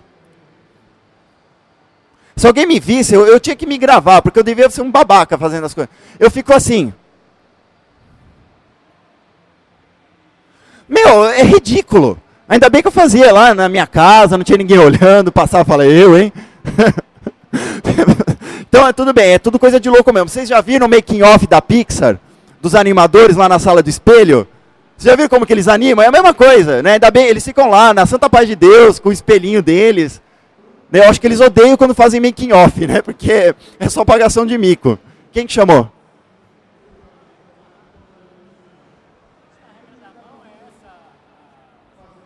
Independente da regra da mão direita ou mão esquerda e ao pitch roll. É o básico. Tá? Vão por mim. Se vocês forem trabalhar com matriz, vocês vão ver que é o jeito mais natural de tratar um objeto. Eu já fiz os testes. Não funciona dos outros jeitos. Até funciona, mas fica meio esquisito. Na hora que você termina, o resultado você fala, pô, mas não era bem isso que eu queria. É a forma mais natural. Qual é o problema de matriz? Fala, pô, então matriz resolveu todos os nossos problemas, porque reduz o esforço computacional, que é uma coisa boa, porque computação gráfica é uma devoradora de memória e processamento, não é? Reduz por um terço, pelo menos, e aí fica tudo certo. Não. Existe um problema chamado gimbal lock. Alguém já ouviu falar disso? Quem já ouviu falar disso? Gimbal lock. Fora ele. Gimbal lock é uma desgraça. Hoje eu estava fazendo um teste e eu fiz um gimbal lock, sem querer. É, gimbal lock é o seguinte: você não está fazendo a rotação dos eixos independentes? Pode acontecer de você rotacionar um dos eixos e o eixo se sobrepor a outro eixo e dali para frente você não tem mais três dimensões, você tem duas dimensões. Então imagina aqui, ó, x, y, z. Aí eu rodo uh, o eixo, uh, sei lá, eu vou rodar alguma coisa pelo eixo Z, 90 graus. De repente, você descobre que você rotacionou o eixo X e ele ficou junto com o Y. Agora está assim, ó. Se eu tentar rodar o Y, ele vai rodar o X junto. Se eu tentar rodar o X, ele vai rodar o Y junto. Eu tinha que fazer um aqui, eu tinha que trazer o errado, ficou muito legal. Porque você tenta rodar, de repente, eh, até 90 graus ele roda certo. Porque o problema é quando chega em 90 graus. Quando chega no 90 graus, o negócio começa a fazer assim. Porque ele não sabe mais se é X ou Y, se é Z. Ele roda dois ao mesmo tempo. Então ele. E aí é uma coisa de física quântica, porque você vê o objeto em dois lugares ao mesmo tempo. É um negócio de louco. Ele espelha, é um... Nossa, é uma bagunça. Então não tentem. Crianças não tentem isso em casa. É... O gimbal lock é uma realidade. Pode acontecer. E como que eu fiz o gimbal lock? E ao pitch roll. Qual que é a ordem ia dar gimbal lock? Não é o yaw pitch roll. Mas é que a forma mais, mais prática de se fazer rotação em matriz é yaw pitch roll. Y, X, Z. Não importa a ordem. O gimbal lock acontece. Tá? Tá, beleza. E agora, o que, que a gente faz? Tem jeito, vamos para o Quaternion. Quais são as vantagens do Quaternion? Em primeiro lugar, ele não é uma matriz. E foi aquilo que eu falei, as matrizes de computação gráfica não são 3 por 3, elas são 4 por 4. Então, na verdade, cada matriz tem 16 valores. Isso é problemático. Ele tem a quarta, que é chamada coordenada homogênea, que é uma quarta dimensão. É, não dá para explicar visualmente o que é esse W da coordenada homogênea. É uma quarta dimensão espacial, não tem como explicar direito o que é. Vocês têm que usar bastante a sua imaginação. Né? É, qualquer alucinógeno também ajuda. E o problema é esse, você está fazendo matriz 4x4, 4x4, 4x4. É processamento pra caramba. O quaternion só guarda quatro valores. Opa, pera lá, de 16 para 4, melhorou. Não é só 16 para 4, porque você não vai ter que ficar concatenando matrizes. Não é 16, mais 16, mais 16, é 4 e acabou. O que, que compõe um quaternion? Não vou entrar nos méritos, falei, não vou entrar em número imaginário, nenhuma bobagem dessa, porque para aquilo que a gente vai usar, eu posso tentar fazer a coisa de uma forma mais alto nível, para a gente entender como vai ser aqui no Ogre, ou qualquer outro lugar. Entendam o seguinte, deixa eu ver como é que... Ah, eu, eu vou falando, depois alguém vai me ajudar. Um vetor de três dimensões tem x, y, z, certo? Então vamos estender essa noção para quatro valores. X, Y, Z. I, acabaram as letras depois do Z. Vamos pegar uma antes do X. Né? Porque foi exatamente isso que aconteceu. Não tinha uma letra para depois do Z. Então eles pegaram o W para ser a quarta dimensão do vetor. Então, um quaternion, primeira coisa, é um vetor de quatro dimensões, cujas dimensões são representadas por x, y, z, w. Até aí tudo bem, né? É a mesma ideia do vetor de três dimensões. Ah, mas espera lá, o que é o W? Esse é o problema, que enrola todo mundo. Encarem o quaternion da seguinte maneira. É um vetor de três dimensões mais um ângulo de rotação. Como assim? XYZ é o que vocês conhecem. São as três dimensões espaciais. Aqui, normal. Esses daqui, ó do, do quaternion XYZ. O W vai ser um ângulo de rotação em torno desse vetor representado por XYZ. Então, quer ver?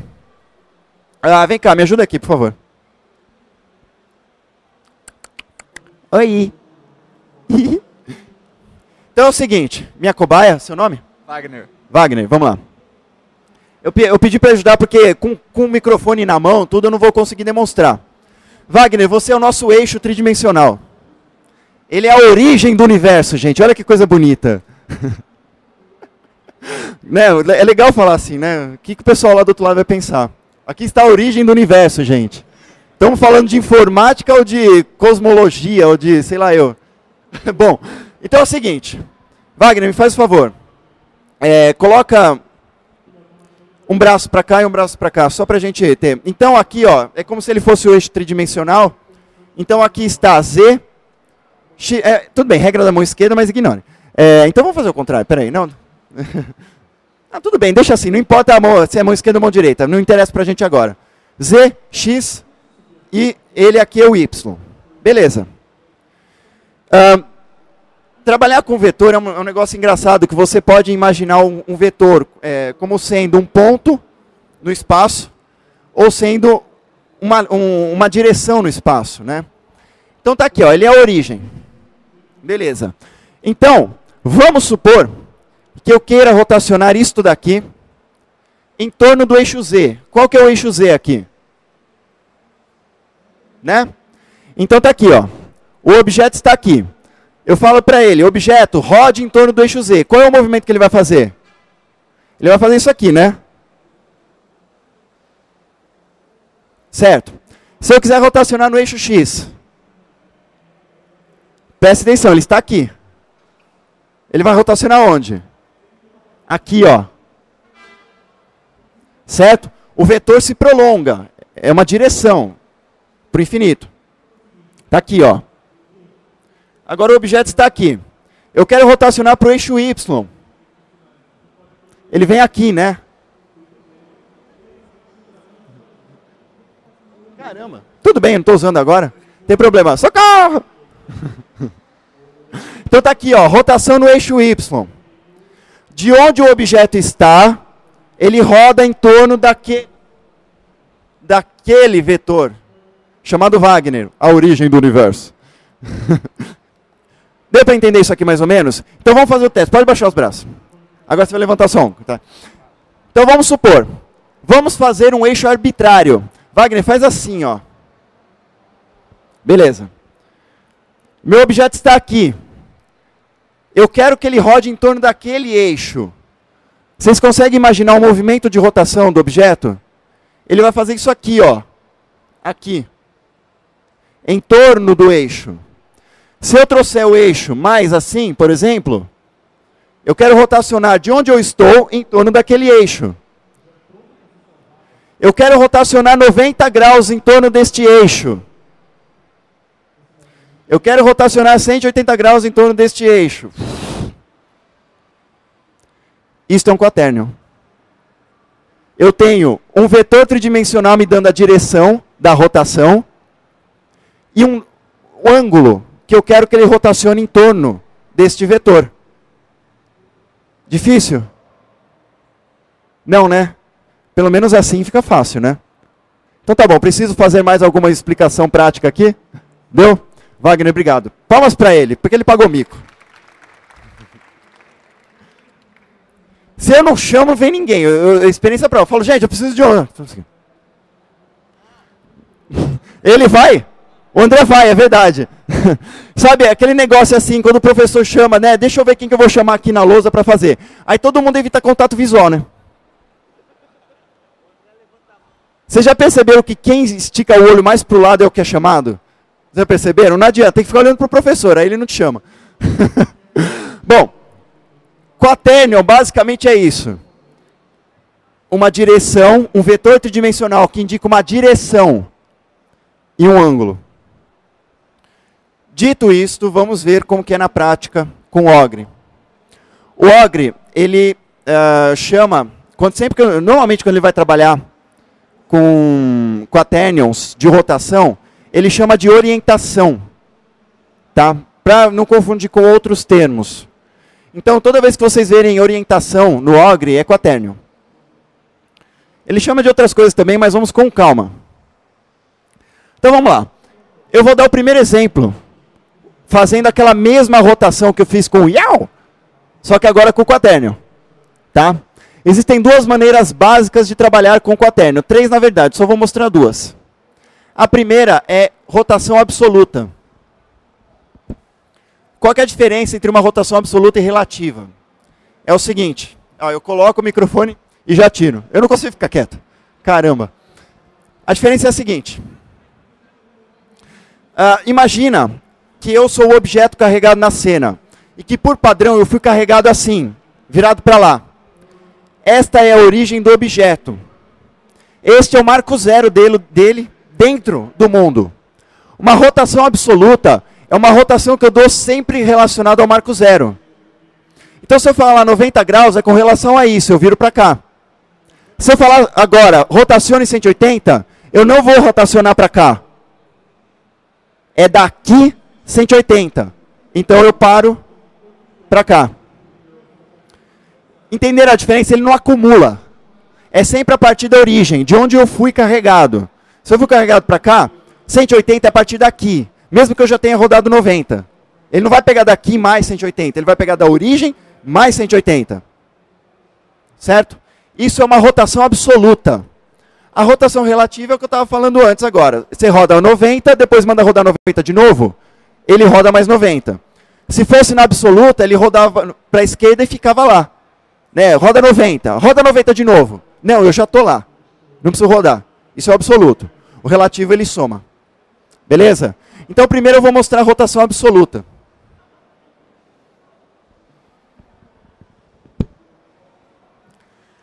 Pessoal, é, vocês não imaginam a importância disso aqui.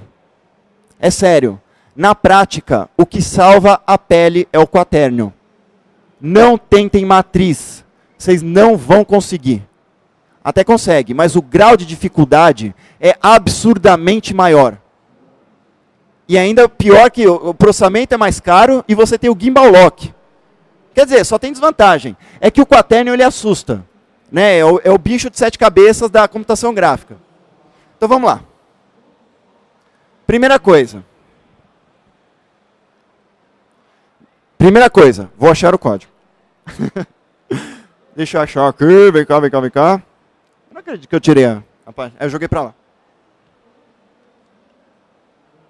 Achou.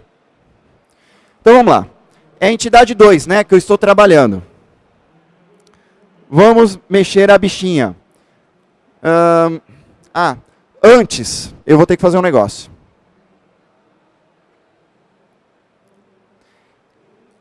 Eu vou fazer uma espécie de acumulador por conta própria. Então, aqui está. Um, esse real do Ogre, deixa eu até explicar porque ele aparece bastante. É um encapsulamento da, das várias maneiras, dos vários tipos de ponto flutuante que podem existir. Porque se você usa float, você não tem garantia do tamanho do float em todos os sistemas operacionais ou do tipo de processador. Dependendo do processador do sistema operacional, o float é tratado de maneira diferente. Então, esse real, ele encapsula todas essas diferenças. Então, é, não importa se você está compilando em Linux, Windows, Mac, real é real e ele pega o que for melhor para aquele sistema operacional e acabou. Tá? Para evitar algum problema de incompatibilidade. Então, tem esse ogre real. Ah, Vamos direto radiano, vai. Para não ter problema. Eu vou chamar ele de YAL 2. Por que, que eu estou chamando de YAL? ele vai ser o meu acumulador no eixo Y. Toda vez que eu apertar para a esquerda, eu vou somar um pouquinho nesse valor. E ele vai me dar o ângulo absoluto, de onde eu vou pegar o objeto e rodar até lá. Tá? Então, beleza.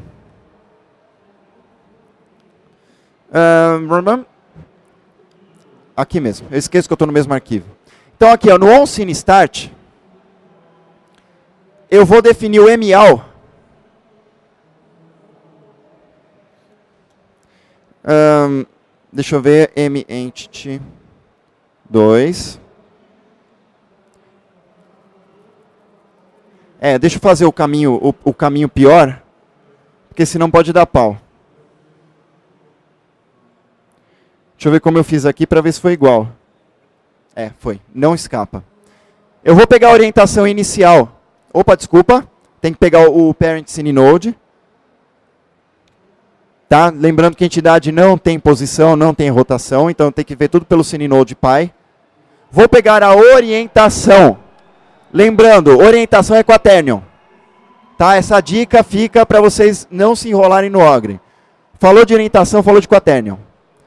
Beleza, peguei a orientação. Ele retorna uma referência para o quaternion, então é ponto. Não é referência de ponteiro, tá? É referência normal, é ponto. Get Yau.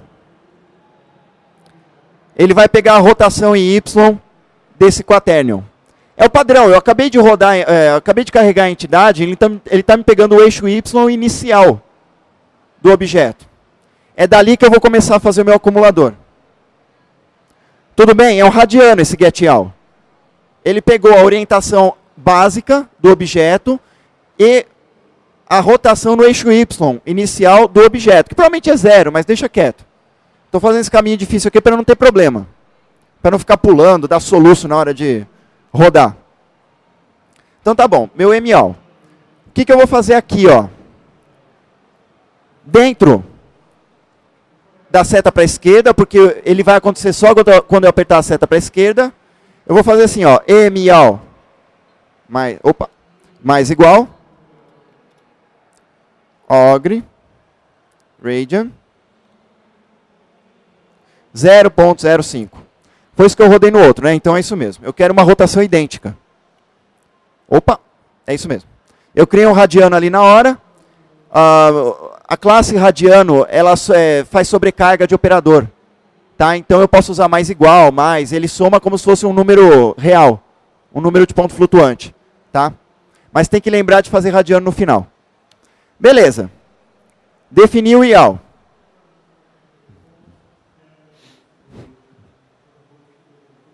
Certo. Tá. O que, que eu tenho que fazer agora? eu vou descobrir, a partir deste IAL, qual é o novo quaternion. Eu tenho o quaternion atual dele, que me, que me dá um vetor de direção e uma rotação específica, só que eu estou mudando a rotação. Certo? Então eu tenho que gerar um novo quaternion, e é isso que eu vou fazer agora. Eu vou criar primeiro um quaternion,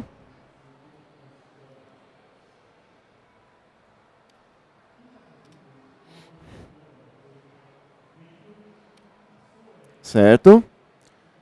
Eu vou até marcar aqui, ó, rotação absoluta.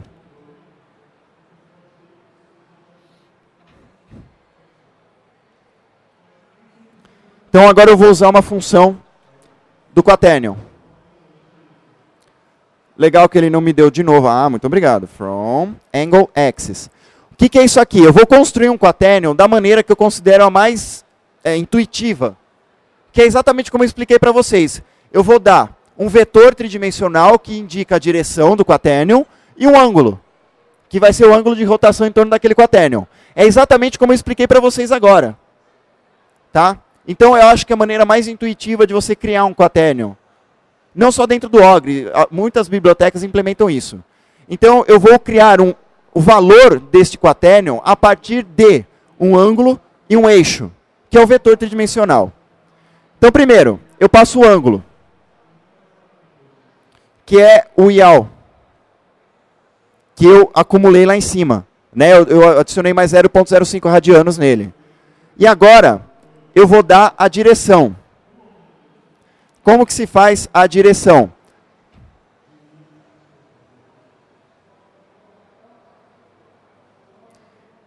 Eu errei o nome, errei, desculpa. Faltou dois aqui. Obrigado.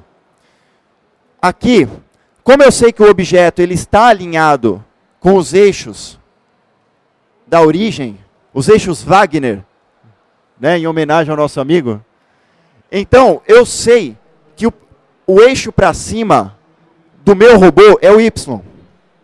De cara, porque normalmente você modela com Y para cima. Então, normalmente o objeto está alinhado com o eixo Y. Que nem o Wagner estava, né? A, o eixo dele aqui o vertical estava alinhado com Y. Então eu sei que o objeto está alinhado. Então eu posso fazer uma sacanagem aqui.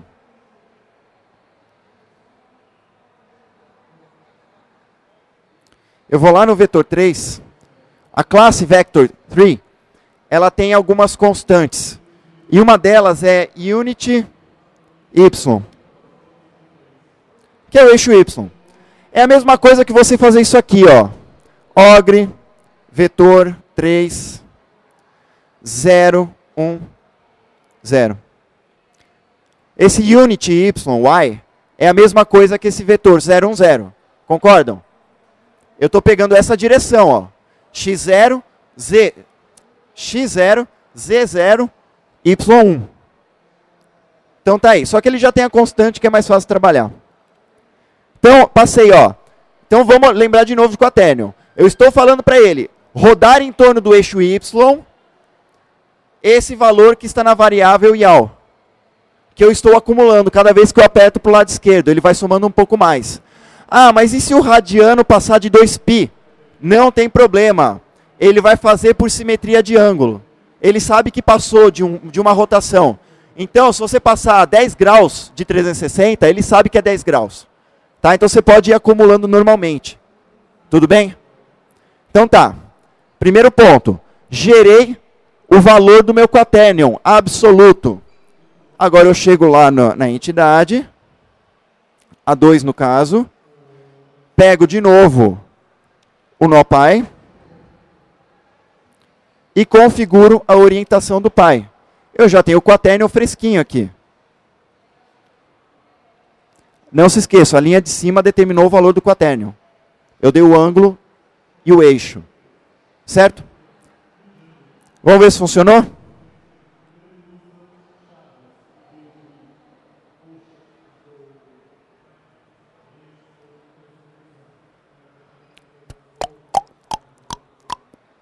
Opa, mais um lugar que eu esqueci aqui, ó.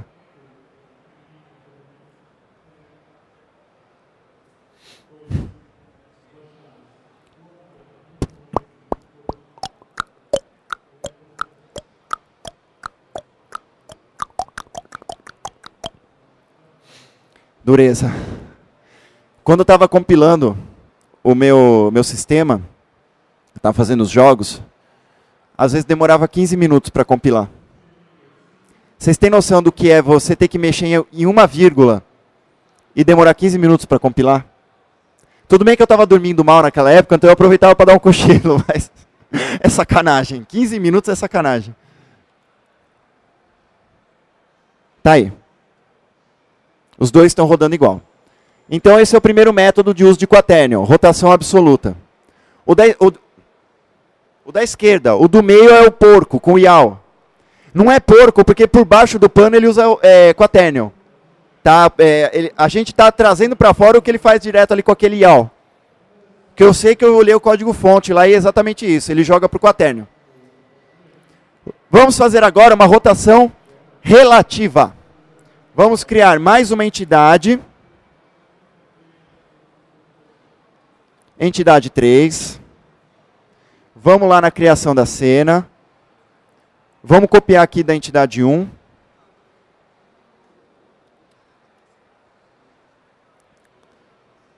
Aqui, entidade 3. Cine Manager, Create Ent, Robô 3. Cine Node, Node 3. Cine Manager, get root, raiz, criar nó filho da raiz, robô 3. Vamos configurar 50. Fez um para a esquerda, agora a gente vai fazer o outro para a direita. Opa, nó 3. Nó 3, anexe objeto, entidade 3. Teoricamente ele já está lá, certo? Na direita. Não vou compilar para não perder tempo, ele já está lá. Então agora vamos para o que interessa. De novo lá dentro da, da tecla esquerda, rotação relativa. Muito bem.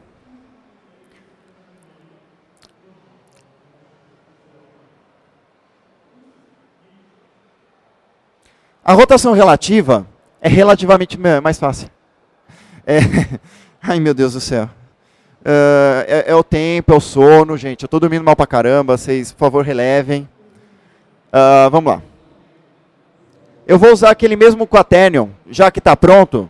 Eu já usei para o que tinha que usar, eu só vou mudar o valor dele. Então não vou definir outro quaternion. Eu vou usar o mesmo. O início é igualzinho.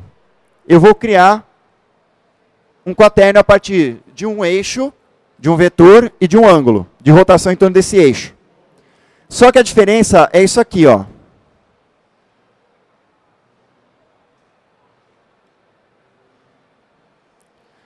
Eu estou jogando o valor relativo direto na criação do quaternion. O que, que vai acontecer? Ele vai me dar uma rotação relativa. Só aquele tantinho que eu quero mexer o robô. Não é a partir da origem dele, é o tantinho que eu quero mexer. Dá para entender a diferença? Sem problemas? Então não é da origem até lá. É de onde eu estou mais um tantinho. Tá? É só esse tantinho que eu estou pegando agora.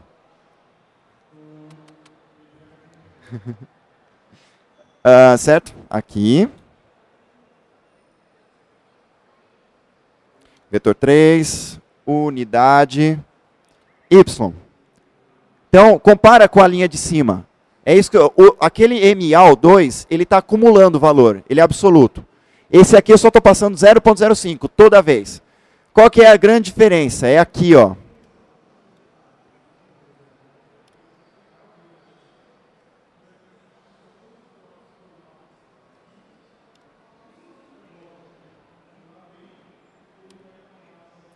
Eu vou usar, ao invés de set orientation, eu vou usar rotate.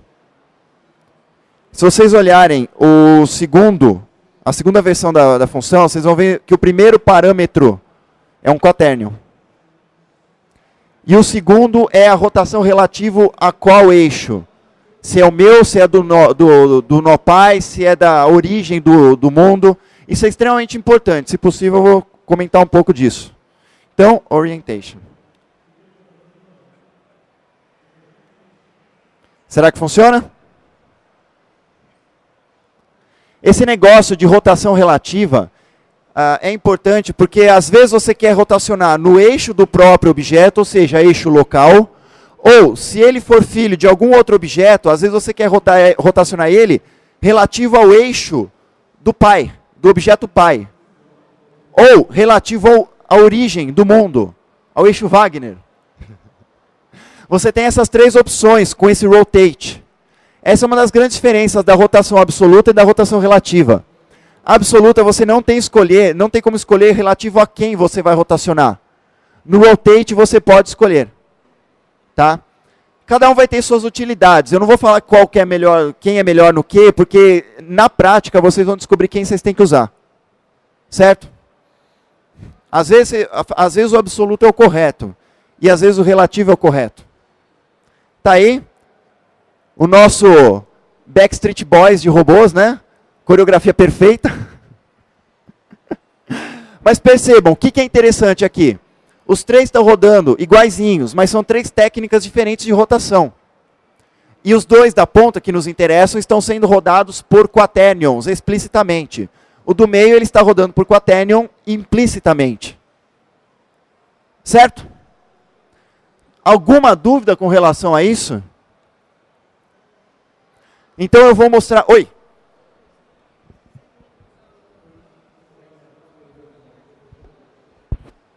É, ele perguntou se sempre tem que usar os eixos principais ou se pode usar qualquer eixo. É, é assim. E aí que entra a discussão relativa a quê? Vamos imaginar que você tem um carro. Então, o carro está aqui, bonitinho. Normalmente, quando você vai pôr as rodas no carro, você não, não modela o carro com as rodas. Você modela as rodas separadas do carro. Por quê? Porque as rodas vão ter uma rotação independente. Só que, quando o carro anda, a roda anda, certo? Então, o carro é o objeto pai. As rodas são objetos filho. Então, o movimento das rodas depende do movimento do carro, do chassi. Certo? Tudo bem? Então, se eu mexo o chassi, as rodas têm que ir junto. Se eu rodo o chassi, as rodas têm que rodar junto. Tudo bem? Qual é o problema? A roda. Então, imagina que eu modelei o carro e o carro está virado para cá. O carro está virado, por padrão, para o menos Z. Né? Z para cá, X para cá, Y para cá. Ele está virado para o menos Z. As rodas eu anexo ali também, bonitinho. Mas eu vou fazer nodes filhos do node do chassi. Né? Então qualquer coisa que eu fizer no chassi vai passar, por padrão, para as rodas. Aí eu quero girar a roda. O giro da roda é em torno de quem? Do eixo X? Vamos pensar. O carro está aqui. As rodas estão aqui, eu quero girar aqui, ó. Que eixo é esse? É o X. Então eu estou rodando no eixo X, não é? A roda está aqui, ó, o movimento, é esse eixo. Todo mundo concorda que ele está rodando em torno do eixo X? Beleza. Virei o carro. Com relação ao mundo, a roda está alinhada com o eixo X? Não. Se eu for te responder com relação aos eixos do mundo, não está rodando pelo eixo X. Mas, se eu estiver pensando em relação ao carro, eu estou rodando em relação ao eixo X. Não é? A relação da roda com o carro não mudou. Então, se eu virei o carro, a roda girou junto. Então, eu quero o eixo X do meu pai, que é o chassi. Eixo X. Então, geralmente, essas rotações acontecem na origem. No X, Y, Z. É uma questão de você saber em torno de quem você vai girar se é do mundo, se é do pai, se é do eixo local, do seu próprio eixo. Tá? Tudo bem? Deu para entender? Entenderam isso? É de extrema importância quando vocês forem criar uma hierarquia de cena. Vocês saberem quem é pai de quem, porque quando eu mexo um, mexo o outro. E relação, com relação a quem que eu vou girar. Extremamente importante isso, não esqueçam. Boa pergunta. Tá? Tudo bem? Agora eu vou para a surpresa, tá, André? Essa aqui eu, em homenagem a você, ele veio me perguntar é, como que é, fazia para uma câmera. Imagina um jogo de rally ou de, de corrida, com uma câmera fora do carro. Normalmente, esse é o correto para você ter uma sensação de que o carro está virando. Quando o carro vira, a câmera está anexada, né? Então, para onde você vai, a câmera vai atrás.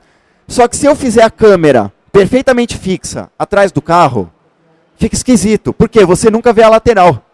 Né? Então, se o carro vira, fica assim, ó. É estranho, é, dá uma sensação esquisita por você não ver a lateral. Você fala, mas eu estou virando, é o mundo que está virando, né? Enfim, rel é relativo, mas uh, dá, uh, uh, esse negócio de, de sensibilidade, de percepção é muito importante na hora de fazer um jogo. Então, qual que foi a solução? O carro vira, a câmera demora um pouquinho para virar. Ela não vira junto. Então o carro está virando, a câmera fica lá, tchururu, agora eu vou. Então nessa você vê a lateral do carro.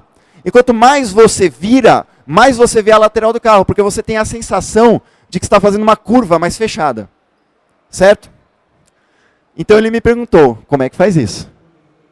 Então eu vou responder, porque é uma coisa importante para se fazer com quaternions.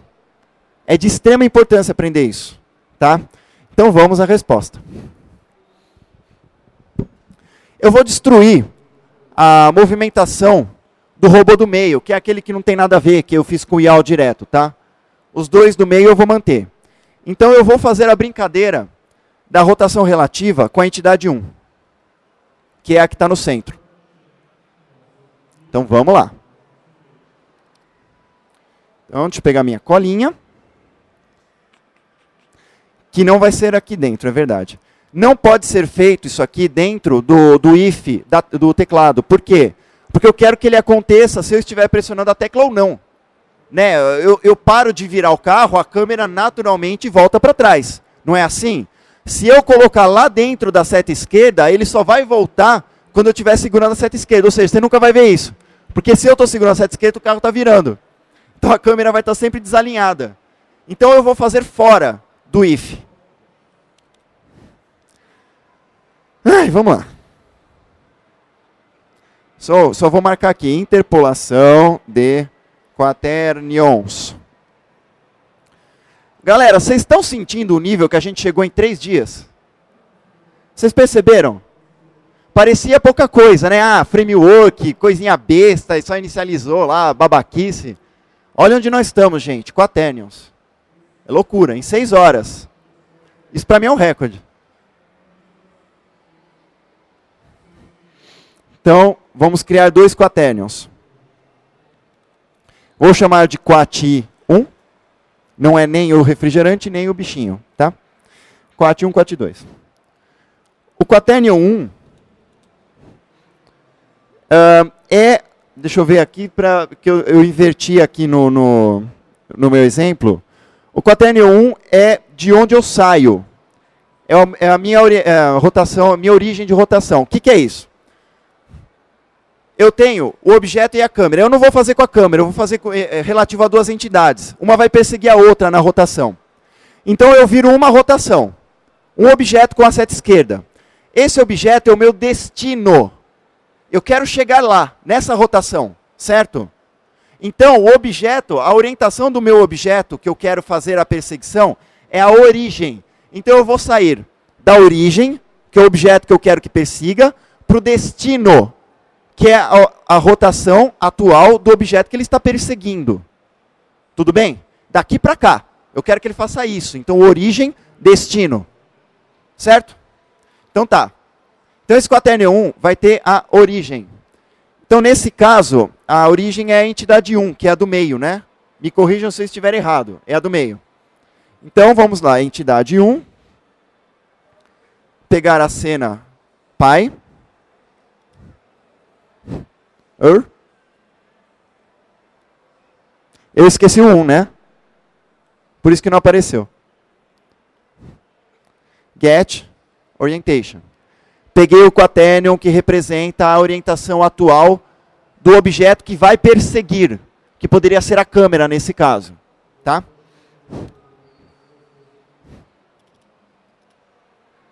Eu vou perseguir, por exemplo, tanto faz entidade 2 ou 3, eu vou usar a entidade 2.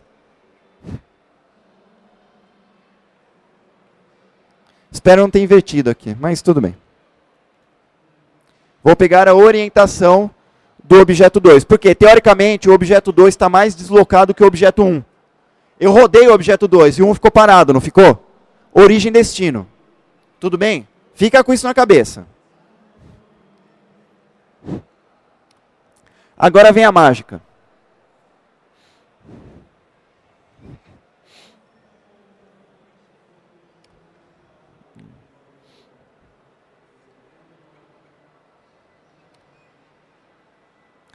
Vamos com calma. Agora é o seguinte. Esse set orientation, ele não aceita um, uma, um quaternion de parâmetro. Só que eu vou criar um quaternion intermediário. Eu não vou criar nenhum quaternion aqui nem aqui, porque esses dois eu já tenho. Eu vou fazer um, um truque que eu vou pegar um quaternion em algum ponto aqui no meio. Tá? Se você considerar aqui o quaternion original como zero e o quaternion de destino como 1, um, se eu falar meio, eu quero 0.5, eu quero pegar um quaternion aqui. Se eu falar 0.1, eu quero pegar um quaternion mais próximo da origem. 0.9, mais próximo do destino. Então, olhem primeiro, depois eu explico. Não, isso aqui. Aqui, quaternio. Slurp. Slurp não é uma lambida de vaca. Tá? uh, é, um, é uma espécie de interpolação de quaternions. Ou seja, dado dois quaternions, eu dou um número entre 0 e 1, um, ele me dá um quaternion intermediário, dependendo do valor que eu dou entre 0 e 1. Um. 0 sendo próximo da origem e 1 um, o destino. E entre eles qualquer quaternion no meio. Certo? Então o que, que eu vou fazer? Eu vou colocar aqui o primeiro parâmetro dele é quanto que eu quero que ele se desloque entre um e outro. Eu vou colocar 0.05, não é para ser igual ao outro, não precisava. É só que eu quero que seja um movimento lento. Tá? Então é bem próximo, é um quaterno, é um pouquinho deslocado, mas é bem próximo da origem. Tá? Então calma lá. O primeiro parâmetro é o valor. O quanto que eu quero. Segundo parâmetro, quaternion de origem. Terceiro parâmetro, quaternion de destino. Quarto parâmetro, devo tomar o caminho mais curto entre um e outro? Sim. Porque senão, se eu fizer um negócio muito curto assim, ó, ele vai fazer o contrário. Então, cuidado. De repente é o que você quer, tá? Mas aqui não é o que eu quero. Então eu vou falar, é o caminho mais curto. True. Tudo bem? Qual que é o truque aqui? Eu só fiz uma interpolação. Essa interpolação vai trazer só um pouquinho mais perto. Mas não se esqueçam que isso é um loop. Eu estou dentro do on interframe. Então, a cada frame de animação, ele vai ficar aproximando. Até os dois chegarem virtualmente no mesmo lugar. Esse é o truque. Deixa rolar. Entendeu? Vamos ver o que acontece. Vamos ver se eu acertei a ordem, né? Porque eu acho que eu posso ter invertido ali as orientações dos quaternions. Vamos ver. Se ficar muito rápido, eu sei que invertir. Ou se ele for pelo outro lado, enfim. Se ele começar a fazer umas piruetas, aí... Uh, tá, deixa eu ver o que, que deu errado aqui. Ah, não, peraí, gente. Uh, é, desculpa, faltou um parênteses aqui, né? Na verdade, eu adicionei um parênteses, né?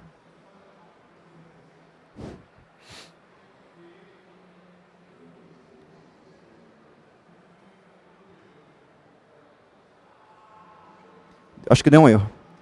Uh, faltou um parênteses aqui, né? Sim, do set orientation. Final de noite é uma desgraça. Ainda que eu errei pouco hoje, né?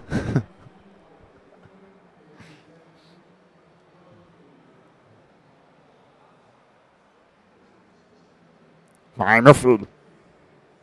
Acho que agora foi. Não? Zero erros.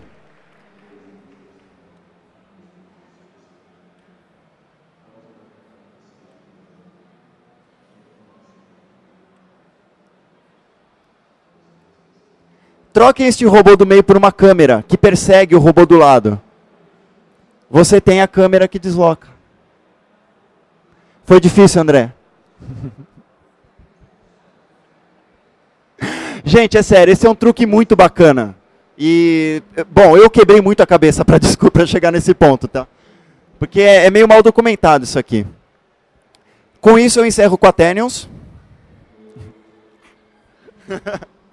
Mas, ó, parem para pensar, a gente progrediu pra caramba em três dias. Eu acho que muito. Infelizmente eu não vou poder mostrar XML, não vai dar tempo. Mas eu prometo para vocês que até sábado eu libero uma versão do framework com o XML funcionando perfeitinho e com uma cena XML já funcionando.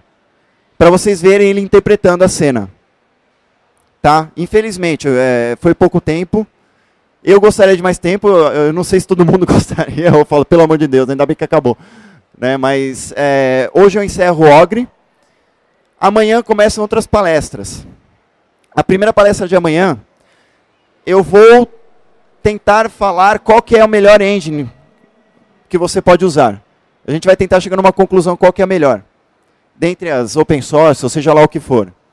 Essa é a discussão de amanhã, da primeira. Na verdade, eu depois eu vou, eu vou dar uma desviada disso, mas é, não, não muito, uma desviada não muito grande. Mas o tema central é esse. Qual, qual engine usar? Primeira palestra de amanhã. A segunda palestra de amanhã, eu usei um tema, né, se você parar para pensar, fala, tá, mas o que isso tem a ver com desenvolvimento de jogos? A segunda palestra chama A Vida é um Jogo.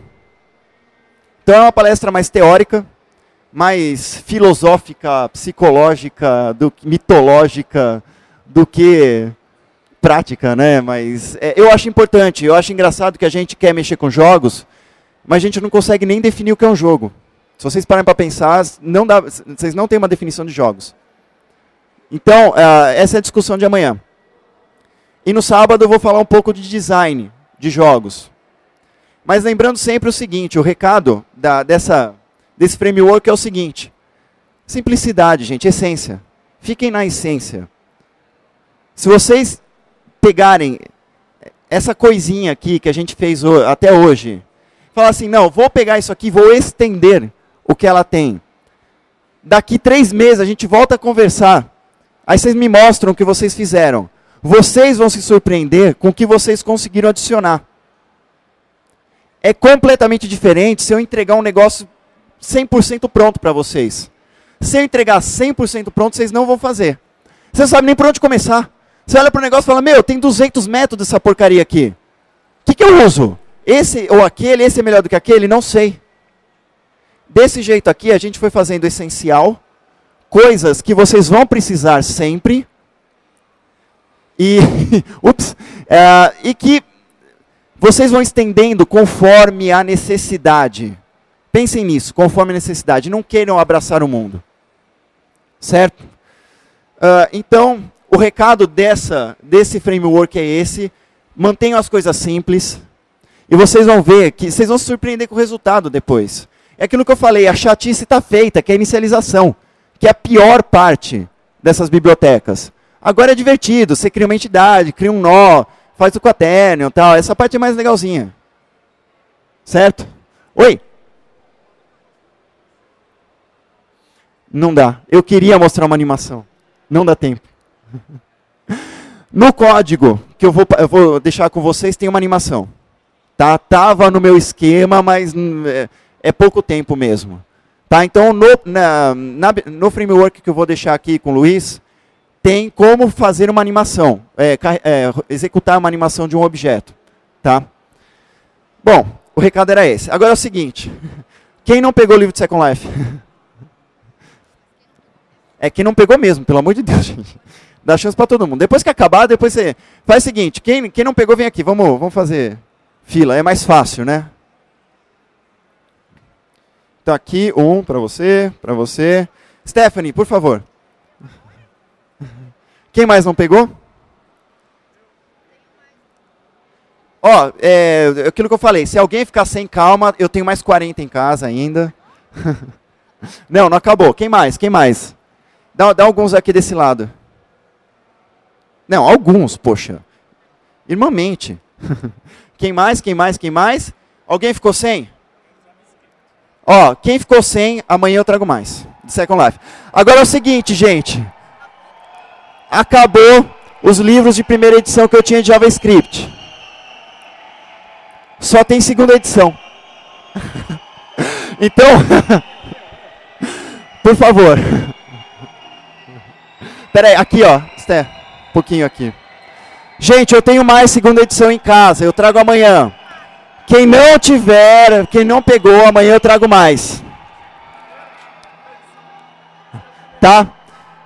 Então, gente, tudo bem aqui? Deixa eu ver. Ó, aqui tem mais guia de JavaScript. Quem não pegou ainda tem. Acabou. Aê! Gente, amanhã eu trago mais, tanto guia JavaScript quanto Second Life. Tá bom? Pessoal, obrigado pela paciência. Até amanhã.